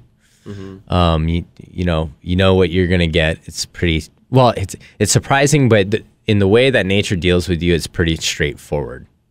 It's not. There's not a bunch of sprinkles on top of it. It's not Nature isn't passive. silver tongue devil stuff. Like, you know, I, and I like that simplicity of it. Mm-hmm. But I guess because those are two things that are kind of part of Hawaii culture, that it helped on the other side. Yeah, yeah. That is it, is a, like such a struggle for especially males here. Mm-hmm. Is like trying to fit in like oh do you, you have to surf, you have to spearfish, you got, you got to fish, you know, to be viewed as local or you know be like a local boy. Yeah, it's it's. I mean, do what, whatever you're into. I just feel like you just get really bored and stir crazy if you didn't do those things Yeah. living on an island. To yeah, me, yeah, exactly. but that's just my perspective. Yeah. I mean, we have all these amazing things that we can do. I mean, I never grew up in the water. I played land sports all my life, Mhm. so I'm only getting into the water in my adulthood. Oh God, so it's like wide open. You- Yeah, there's so much. so many things do. to do. Yeah. Like I haven't gotten into diving yet, uh Uh-huh. or like I mean, Micah and Leia, you know, they're they Yep. love diving, but he would always tell me like, "Go, sir, like let's go sandy, let's go diving," and I never would do it because I just like I just want to play basketball. I just want to do this, you know. But now it's just like with surfing, I just am got that bug right. Yep. So now it's like it's exciting because I can see all these things that I want to do in my adulthood, like getting into diving, spearfishing, fishing, um, maybe even hunting. You know, I like weapons, so you know I have nunchucks. I, I know how to use nunchucks. you go so, like- nunchucks on board. And yeah, that. nobody ever nunchuck hunts, right? Just put some blades at the end. Please do it. Part part of my uh, one of the episodes in Master uh, Jack of all trades, Master of none with Kamaka Diaz. nunchucks, nunchucks. Sorry, messing up my own TV show. yeah. Yeah. okay. Um. All right. So, what what motivates you to to do all these things that you do? Um, I just I like learning. I like learning about um the environment around me and myself. I like uh, learning in that you can appreciate things more when you know more about them. It's kind of if I can if you can think of like we'll use UFC as an example again. I know it's come up a bunch of times, but once you know somebody if they know nothing about fighting and they go to like do a week of jujitsu, all of a sudden they're like, "Oh my god, I know what a rear naked choke is. You know, I know what full mount is. I know what passing guard is, and all that stuff." It becomes so much interest more interesting, and that opens like so many different avenues off of all those concepts. So you're more engaged, you're more appreciative. Um, the more things in life that I can do that with, the better. And at a certain point, you can appreciate just sitting in your yard, I guess. you know, like, wow, this is, oh, the bees are back. And Yeah, or just seeing the plants that ha- Yeah. have grown. You did that. You know how long it takes to do that. How much attention you have to give to these things so they can grow Mm-hmm. prosperously. I guess it's just being like an active player in life Mm-hmm. and not just being like, ugh, one day I'll be happy. you know, one day it's everybody else's fault. It's not mine. You know, Yeah, Yeah. that is true. I, it is, it is a pet peeve of mine when people are hard on people, like especially like just watching something on TV or seeing something on social media. Like mm-hmm. say people are watching a football game, somebody misses a pass or doesn't tackle somebody, they're like, "Oh, that guy sucks." oh God, it's so funny. The whole armchair quarterback thing. Yeah, And you know who's not armchair quarterbacks? People who have tried hard stuff a lot, mm-hmm. usually, because Yeah. they're like, "Hey, that that's probably more difficult, and I can't even understand what level things are working at there. I appreciate watching it. I might not like the team, I might not like the player, but you know, it's it's like watching fights. I'm like." I don't see a guy get knocked out. I'm like, you saw Yeah. clown. I'm like, God, man, that was brave getting in there. It took Yeah. a lot of work, and Yeah. you know, I would have gotten knocked out in the first five seconds. So yeah, I can't say a thing. very true. And it, with, with surfing especially, and like I've always had a respect I for athletes and especially surfing. I just never did it in my life, but oh my god, that all the things you you learn real quick that how hard surfing is. It's crazy because like you don't think okay, it's not just catching a wave. It's paddling. The endurance of paddling is so tiring, mm-hmm. especially because nobody. If you. It's you weird up in the muscles. water, yeah, you Yeah. don't like do this a lot, so you get so tired, and then you know you have to deal with the crowd and then waves and understanding the wave. There's so much you have to to learn just to be able to catch that wave. So I have so much respect for like the people that like you that do it at the highest level, crazy. Well, thanks. Um, but yeah, there's no easy button. That's an interesting thing because I've, I've helped teach a, a lot of people how to surf and stuff, and uh, I've because I've you know been in this I quote action sports world for a long time. I've been lucky enough to get to know people from like you know professional snowboarders, skaters, you know all different kinds of pursuits, and take them surfing and they're like obviously like way outperforming as far as their technical ability when they're up on a wave but as far as like navigating a lineup you know knowing the timing where to sit how to catch the wave when to turn around start paddling there's no easy button for that mm-hmm. it just takes time mm-hmm. and that's one of the cool things about surfing like it just takes time for certain parts of it mm-hmm. you just you just gotta keep doing like you said in the beginning is um you just gotta I don't know the exact word you said, but you just gotta get accustomed to it or just get that Yeah. experience. yeah Yeah, that that's what I learned too because I, I I would surf just sporadically, uh, and I could never get good.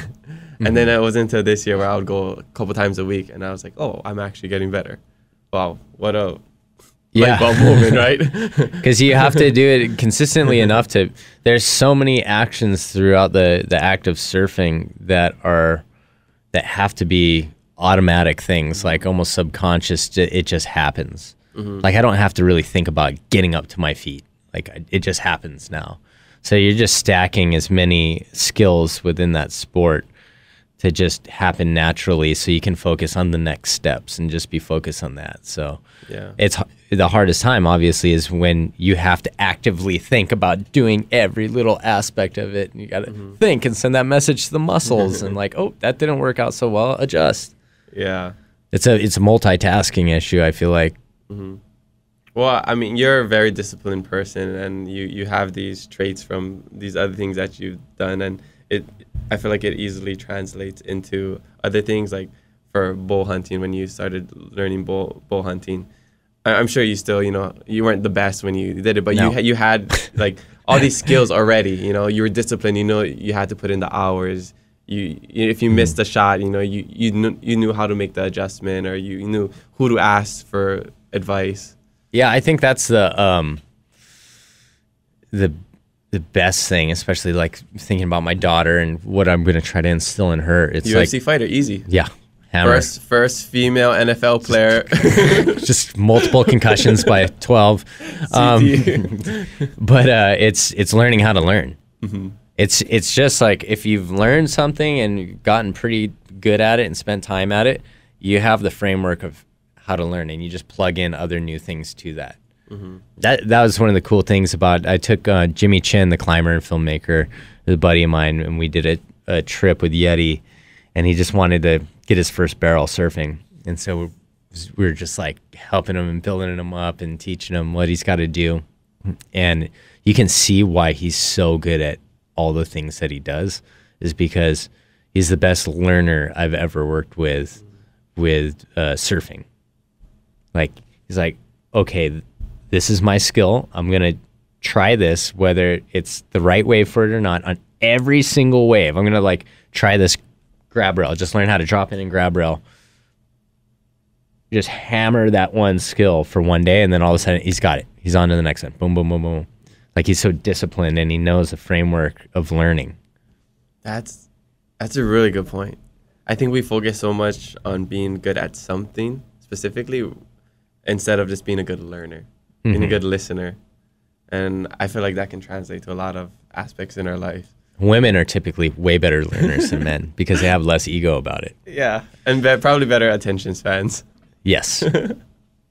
Yeah, being be a good learner in life. I, I know that. Like, I'm not just tr- trying to throw the ladies a bone on this one. I know from teaching men and women things in the water. Like, oh my gosh, they're That's so much funny. easier. Yeah, the ego. That's that's a bad thing. Okay. Um, so what's in what's in ideal day for you? Like, because you're also a businessman. You have a bunch of companies. You have Yeah. Healey, Water Ops. Yeah, Protekt. I'm a co-founder of Protekt, um, which we do supplements um, and sunscreens, which is going good, and we're on year three, and that's that's blowing up. We just got um, highlighted our rest product. We got a great sleep product as well. Um, just got hi- highlighted on Tim Ferriss's Five Bullet Oh, Fridays. yeah. So Nice. um, you know, it's a good stamp of legitimacy. We worked hard at it.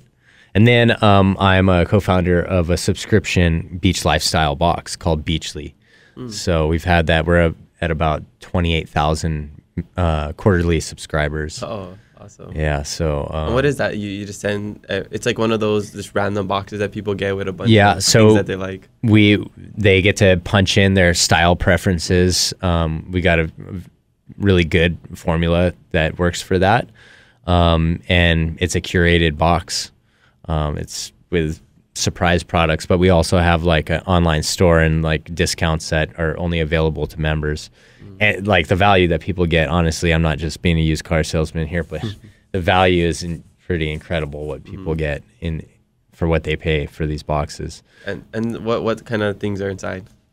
Yeah, so it's what's happened is first we started with men's. We still have the men's side of thing, and then we did the women's, and the women's just like grew so much faster. Um, it definitely hit a chord in the women's market. Um, so yeah, at, at first it's it was like very like technical, harder goods. It was like maybe a board short, uh, a, a really good like dive mask and a towel or something like that. Now it's the women's side. You have a lot of different things. It could be, you know, bathing suit. You know, depending on season or like if it's coming in fall, it might be like a cute sweater, beanie, uh, fragrance, um, skin product, things like that. It changes every quarter. That's that's cool. It's a cool idea. I know uh, my brother, ha- my little brother, he has a subscription to some something he likes, some like video game or I don't know, something similar to that, which like a surprise box, and it's really popular. Yeah, I I like surprises. Yeah, I like that. I would. it's funny too because um I I don't have uh, an apparel contract. I was I was pretty much have been having to wear only certain kinds of clothes for my whole life because that's one of the main contracts you get in surfing. And I'm like fully wearing the stuff I get from my boxes, the beach leaf boxes. that's funny. Like, hey, so this is handy. Like, yeah, I'm back in this mode again. I like it. brands. You you, you get Yep. from the different places. Oh, Yep. okay, I see. yeah, it's all different brands. We make some stuff on our own, but uh, it's yeah, reaching out to different brands and um, and being like, hey, this would resonate with our audience, or we're at the size now to where like, this would resonate with our audience. Can you make it? Mm. So that was a very nice dynamic shift from like asking favors and having people do favors for me to go out their way to have like a premium surf brand slice off, you know, 200 items for it. Yeah. It's like, it's not worth their trouble. Mm-hmm. You know, now they come to us, which is great. That's cool. Yeah, I, it's cool when that, like you said, that dynamic shift. Yeah. That, that like for me, the podcast in, in the beginning, I was just like asking, just sending DMs. Hey, can you come on the podcast? You know, going through people with connections, and now it's like so many messages, and, it's like. But cool. now, like- but now you're back to this theme that we hit on a lot. A lot. Now you know that that dynamic dynamic shift happens. Mm-hmm. So you're not going to quit when you know you haven't hit the shift point at, Mm-hmm. at least yet in like a new business venture or something like that. You have that hope. It's that that there's that uh, mouse experiment um, where they they timed how long it take takes mice to drown. They put them. You ever hear that? No, no. They put them in a tube of water that's just big enough for them to be in it, and they have to go and just struggle until they drown. So, and they time it, and they did this to a ton of different mice, and then the other group, they let them go to within like a minute of the usual time, then they pull them out, and they do it again the next day, and they go like twenty times longer, hmm. because they have the hope. They think they're going to get pulled out again. They can oh. survive longer struggling because of that, and I oh. think that's learning process. That's business. That's all these things. say, yeah, and so many people never get they just they only do that struggle initial part and they're like oh it's never gonna happen. I'm giving up. So they never know of that hope that, that's on the other side of things. Mm-hmm. So it is like a, a, a self-fulfilling cycle. It feeds on itself. And the more times you do it and pull it off you're like okay i can go longer. I can go harder. I can put up with more. Mm-hmm. Yeah. That that's why it's so important to never give up and keep pushing your limits Mm-hmm. keep keep getting through that uncomfortableness and just you know eventually you get out get get out to the other side Yeah, and it, you know, like in my tone, sometimes people, my my message request inbox is like Afghanistan in there. It's like crazy people write me a lot. Um, but people think I'm like coming off as like an asshole sometimes when I'm like saying like no, like don't make excuses and stuff. I'm not trying to be a dick. It's because I care about people. Like I, I want people to be able to experience their full potential. Like excuses just don't get you there. Yeah. And wanting handouts and you know, blaming your problems on other people. Mm, so socialism. exactly. exactly. It doesn't work. Uh, that's interesting. So so what's a like morning to night? What what's an average day for you? Surf, work, hang out with your family. I totally avoided that question originally. No, I just totally went off the rails. No, Sorry. but I, Um, I I love that answer that you gave. Um, yeah, so I'm gonna get up. I'm gonna make coffee, take my supplements, uh, go feed the chickens and goats. Uh, probably start calls and emails um, because being in Hawaii, the time difference, you have to start early, unfortunately. So it kind of steals a lot of mornings unless there's something special happening in nature. Um, uh, see my daughter when she wakes up, and then uh, spend it spend some time with her and then hit the road, get outside, get after whatever task or thing I'm doing. Um, yeah, come back, have dinner with the family, pass out. Actually, not pass out. Stay up for like four hours on YouTube, like looking up weird things like how to like weld with old car batteries and stuff. Are you pretty handy? I'm not that handy. Oh, okay. That's why I'm learning. probably handier than mo- like we have a fairly low bar for handiness mm-hmm. with adult males these days. So maybe I'm like That is true. slightly handier than the average guy, but not like our parents' generation handy. Yes, yes. There, there's a lot of things that we can buy that we the setup is easier. It's it's it's not as like you don't have to do everything yourself. Maybe you just have like two things that you gotta like nail in, but it makes us look really good. Yeah. Yeah. So I was putting up a chicken coop the other day, and I was just like, of course, it's this like from China Amazon one, and it's um, like steel pipe, and uh, they didn't have some of the holes bored. I was just like, God, I'm gonna have to do some, my own drilled holes. I was just throwing a little hissy fit about it. I was like, God, all it is is three, three holes. Don't take yourself so seriously. but after My dad you, builds houses. But after you did it, you're like, yeah, I'm a man. Yeah, guys. Hey, hon, check this out. Look at me. God, did you score? That's so funny. There is that like side of the the male bravado where it's like everything we do, we want somebody to like to look at us like all the things we we did, like the cool things, like hey, look what I built, or like, Oh, yeah. look at this cool move I did. It's like you see me on the last wave. Boy Scout badges, dude. Yeah. I'm I'm like that. Like I, I with my girlfriend and like every time I catch a wave I, I paddle back out to her. I'm like, Did you see that? Like so I did this and I like I walked to the nose a little bit, but I, I couldn't get all the way to the top. So I was like kinda just staying there. And then I like did put one foot in front, kinda like a kook, but then I got out and she's like She's like, You're the only person I know that explains every single wave to me. I just think of like, I, you're probably too young, but do you remember the, the movie Airplane? No, I It was a comedy. Anyways, there's a scene in it where the lady's like talking every guy's ear off, like blah, blah, blah, blah, blah, blah. that's on the plane, and they're all like killing themselves in different ways. Turn, turn around, the guy's like pouring gasoline on himself. The other guy hangs himself. It's just nobody can survive it. That's funny. Happens. Yeah. okay. Um, right. So we're, we're coming to the end of the podcast. I, I got a couple more questions I want to ask you. Um, what is your biggest accomplishment? My biggest accomplishment is becoming a father. Awesome. For sure. Why was that so important to you? Well, I stayed alive long enough to do it, which was pretty sweet. Um, I mean, yeah. If go go to YouTube and just see what he does, and then you. I didn't. I honestly didn't think I was gonna live till thirty. Like for real, I wasn't planning past thirty. I was like, eh, I mean, Yeah. I mean, I'm not trying to. I'm not trying to croak, but like, Yeah. it's really hard to get struck by lightning. Very few people do. But if you regular, regularly run around with a 20 foot metal rod in your hands in Florida, you're probably going to get struck by lightning. Did you get eventually. struck by lightning? No, but I'm just saying, like, I'm buying a lot of lottery tickets here. I'm exposing myself a lot. Yeah. Um, so uh, yeah, just getting to this point in life, and um, yeah, being a dad's like number one by far best thing ever. That's awesome. I'm happy to hear that. Um, okay, so what is something you wish people knew about you that they don't? Um. Hmm. Wonder what. I think.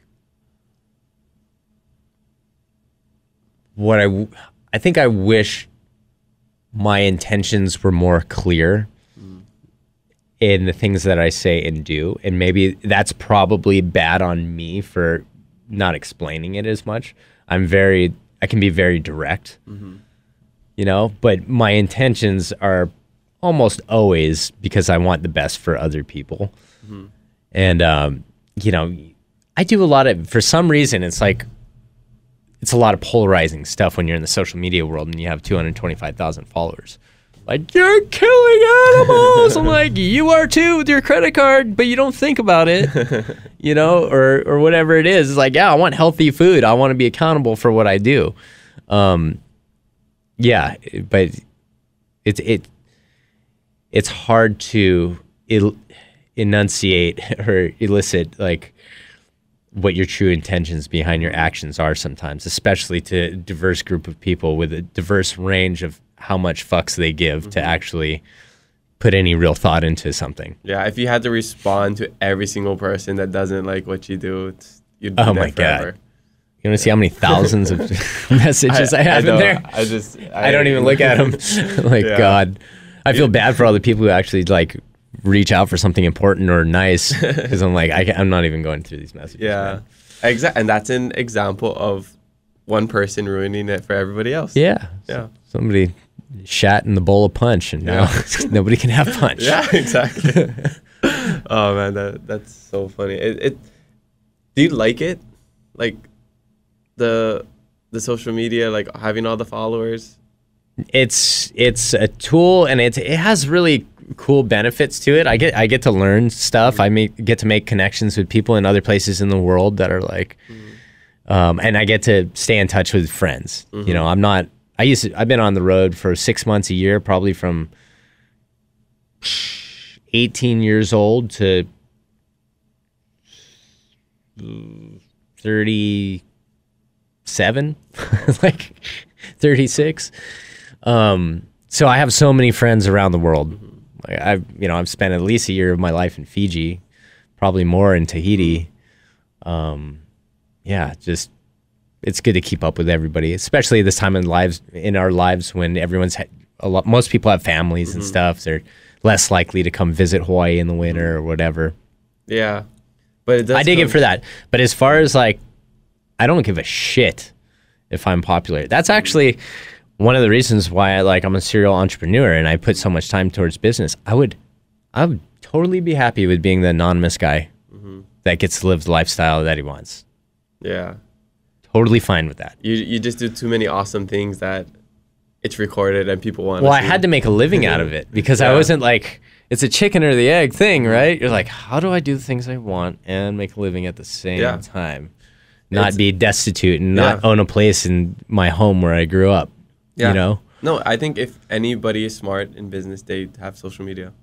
They, Oh, they you have to. it. They leverage it. Yep. Yeah. Hundred percent.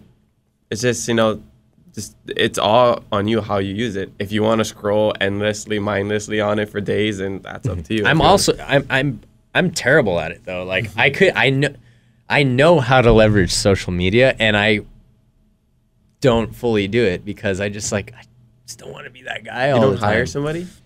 No, I do everything. Dang. Everything. You don't want to hire somebody to Just, do like, just hire like some intern or some. young well I, I got my boy Jesse on over who's fucking great doing uh he's he's doing my YouTube like filming and editing. The strike missions. Yeah. Yeah. That that those are sick. Yeah, he's a he's a one man show over there. But um yeah, Jesse's great, but that's the only thing. Mm. I do everything. I negotiate contracts, I do the business deals, I do all the financial side, I do the travel booking. Busy life. Yeah. It's a lot of different things at once. Yeah. What does your wife think about your lifestyle? I mean, she obviously married you, but Yeah. Sucker, suckers born every minute, right? Gotcha. Yeah. Um, um, you knew what you were getting into. no going back now. To death do us part. I'm an officiant. I say those lines, so I know. I know the weight those words carry. Um, uh, what was the question again? Uh, what What does your wife think about the Oh. things you do? yeah, she. I mean, she's like, she's very cool about it. To be honest, like on the spectrum of the shit that I see my friends in similar line of work have to put up with sometimes, like she's she's great. Um, obviously, like the optics of it, sometimes it's like work, really work. You're gonna keep calling it work. Like you have to go on this trip. You- really, Yeah. like yeah you know what you got into basically but but i do understand how the optics of it sometimes like yes. oh yeah you're just bailing out huh you gotta go on this hunt Well, I mean, do. being being an entrepreneur, I I understand it because everything you're doing is contributing to your work, to your career, yes right? So it's like one of those things. It's like unless you do it, you don't really truly understand it. yes hmm So yeah, I can see how the optics can get all. but she's cool with it Mm-hmm. i mean she gets to be a full-time homemaker mom which is a full-time job for Oh, real yeah, it is a full-time job Yeah. um and i i go out and drag dead things back and feed the family and Nice. try to keep the lights on Yeah. So so you you, you do everything like fishing, hunting, um, or like, what I mean by that is like you you bring you get your own food, you you bring it home. Do you go to the grocery store? Yeah, we go to the grocery store Okay. as well, but like primary protein sources are, I would say, eighty percent Mm. stuff that I go and get. Yeah, that's good.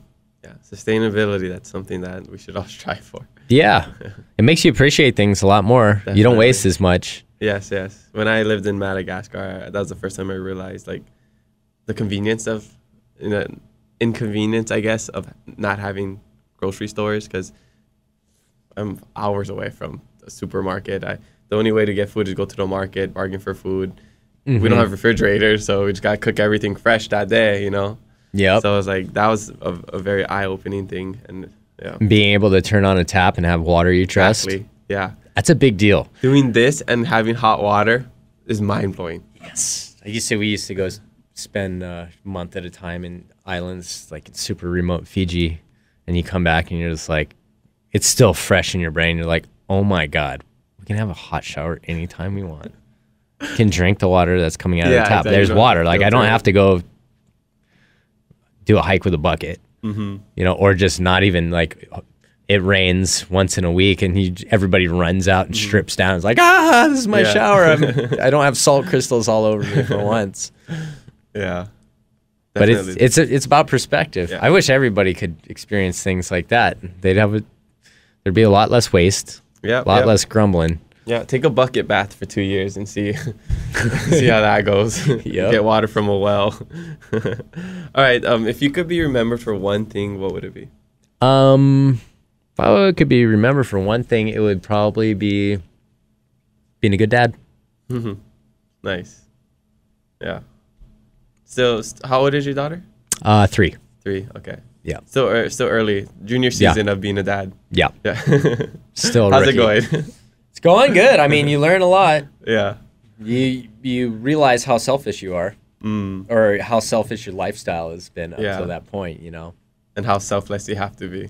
Yeah, but uh, you know, it, it's it's enjoyable. Like that that that puts like it's difficult, but it's enjoyable, and that's kind of what I tell my friends.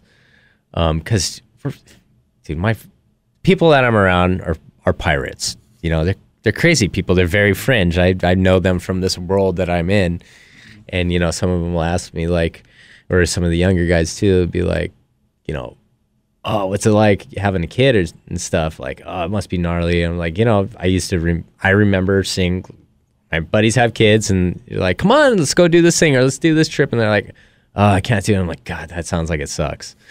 Um, but also I was like, okay, what, what pursuit do you love that you do regularly that is easy? Mm-hmm. And like, nothing. It's all got an element of danger, risk. It's not easy. You have to apply yourself. You have to get beat down and come back up. I'm like, well, that's what being a dad is. Mm-hmm. like, but it's rewarding on a level that's so much deeper than any of that stuff. Um, and it's challenging. It's hard. But if it was easy, probably wouldn't be interested. Yeah, yeah. You and you like the challenge. Yeah. it's self development. It's like, God, the, the crazy thing is, is how it's never explained to you is like when you have your first kid, you're both learning at the same time, the kid and you.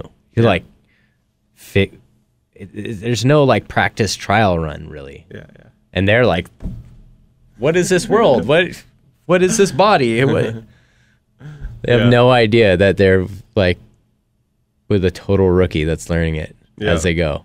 That's it's a good thing they don't know. Yeah, as I get older, I, re- I realize that, and I mentioned it before in the podcast. Like, my parents had me at the age I'm at right now. I don't have any kids. Mm-hmm. I don't know how to be a parent. I don't know. I barely know what I'm doing. So, being easier on our parents, realizing the point we are in our lives, like they were in that position too. Like, they didn't know what they were doing. No, they didn't. Yeah, and you thought they did. They have all the answers, yeah. and now you, now when I look back and I see old photos, I'm like, oh my god, they're kids, Yeah, like it's crazy how that figuring it out. another one of those dynamic shifts. Mhm. Yeah. Okay. Um. So what what are your future goals? What's next? Any big things coming up? Um, future goals. So I'm leaving tonight. I actually got to pack. Oh, yeah. Um, Thanks for rushing down so- here. Appreciate it. yeah, all good. Um, uh, it's archery elk season in Colorado, so I go Oh, every nice. year. I go for for elk in the mountains. Hopefully that works out. So that's a near term goal. Um, besides that is just uh, working on these businesses that I have, and um, I'm actually looking at some farmland. Hmm. So I'll probably I'm diving into like farming. Big Island. No, I was looking on Big Island. Micah has a lot got- behind I- his house. Oh yeah. Yeah. Well, I got to make more money again because I just spent all my money on this. Um, it's definitely on the list, but uh, yeah, just want to start making food. Mm. You know, making food and setting stuff up for the future, putting putting trees in the ground, Mm-hmm. Love getting that. it, getting ahead of it. Cool. Yeah. Good luck with that. I'm excited to see what what comes next. Yeah, me too. Thanks. All right. So this is the moment everyone is waiting for. What is your life hack? my life hack is is cutting the second guessing and talking yourself out of things or putting off things that you know you need to do and just like just flipping a switch and like okay now it's happening now like something that you've been telling yourself forever like for instance weird example like i remember one day i was like i've been looking at the peak of Mount Ka'ala my whole life. I've never been up there. Mm. We're going now. Like you have to do those things because time just goes by and you you'll look back and it's a decade later or maybe you never come back to it. Like that if it's important to you if, and it feels like something you want to do, start now. No excuse. Don't give yourself enough time to make excuses. Don't let people around you talk you out of it. Just do it. Love it. He said it, not Nike. Just do it. Ah, shoot, man! I fully stepped into that one. You ever you ever watched Office? Um, yeah, I have. There's uh, the uh, Wayne Gretzky Wayne, Gretzky quote where it's like, um, "You miss hundred percent of the shots you don't take." Wayne Gretzky, and then underneath that is Michael Scott. so it's like, just do it, Nike. Under that, Mark Healey. yeah, exactly. That's basically You're welcome, life guys. so I'm basically a genius. I'll be doing some uh, speaking seminars. yes, hire him. Prestige Worldwide. it's my new company. Yes. So funny. Love that movie. All right, so I just got top five rapid fire questions. Okay. Favorite post surf snack or meal? Um. Oh, that's a hard one. I love a good acai bowl. I was gonna say acai bowl. Mm-hmm. Pupukea Grill has the best acai bowl. I've never had it from there. It's I've, so I've been good. to my girlfriend lives at Sunset, so I've been to the one past, past like going towards Laie. I don't know what it's called, like Rainbow. Um, Sunrise Shack. no, not Sunray Shack. It's a little further. Um, Hmm. I don't know. I like that one because for the the ratio to the price, it's it's really good. Yeah. Yeah. Okay. I, I don't remember the name, but oh yeah, a good acai bowl. Love it. All right. Uh, favorite travel spot Um, Fiji. mm, for the reasons you mentioned. Yeah. okay. What about um your the spot you wanna the first spot you wanna take your daughter to? Mm, next trip, Fiji. She's got to go meet all the Fijian aunties over there. I haven't seen that Okay. I basically grew up with. That's fair. All right. Favorite movie. Favorite movie, Big Lebowski. Mm, okay. Nice. Uh, favorite food to cook. Um, Axis deer French cut rib racks. Oof. Where, where do you get that Molokai? Um, either there, uh, Lanai or Maui. Mm. Yeah, I haven't been to. Bounce around. What, whatever friend can go hunting, Yeah. basically. like, hey, All right, I had my my last question was favorite dream vacation, but I feel like you're gonna say uh, Fiji. favorite dream vacation. That's not It would, ha- Fiji. it would have to be something new. Um, I've been looking at the Azores a bit. Azores look really cool. I've never been there. what do you want to do there? Just go hang out. Every every single person that I, I I've I've just heard this comment too many times. They're like, it's like the Atlantic Hawaii. It's so similar. You know, um, a lot of the the Portuguese that ended up in Hawaii came from Azores. Yeah, Yeah. yeah, my family Yeah. or my Portuguese side. Yeah, nice. that's cool. Azorian. How do you, how would you say that? Yeah, Azorian? I don't know. Azores, the Azores maybe. No, but the people from there. Yeah, maybe, maybe they're Yeah. called Azores. Azores. I don't know. Azordians. Azordians. hey, that could go on your um, Esquire Reverend Azorian. Azordian. That's funny. All right, well, um, where can we find you? What's your social media? Uh, my social media is Instagram Healey Water Ops, and then I'm on YouTube. I got Strike Missions, where we go and basically when the time's right and everything's lining up, we go diving, surfing, hunting, whatever. Everything. Yeah, go check it out. It's really cool. Very, very entertaining. Get your heart pumping. all right. Well, yeah, that's all we got. I just want to say mahalo for coming on and taking the time out of your day to talk stories. Uh, it's cool to get to know the other people that um, my brother and sister-in-law hang out with, and they talk so highly of. You know. Oh, So they're I'm- sweet. I'm, yeah, super stoked. Great people. we, we got to do this. Yeah. Right on. Great meeting you again, and thanks for having me. Yes. Mahalo, Mark, for joining us on the Hawaiiverse podcast. Check us out on hawaiiverse.com, the best place to support local. Spread aloha, be kind to one another, and mahalo for listening to us today. New episodes every Thursday, so make sure you follow us and leave a review. I'm your host, Kamaka, and you'll hear me next time on the Hawaiiverse podcast. Ahui ho.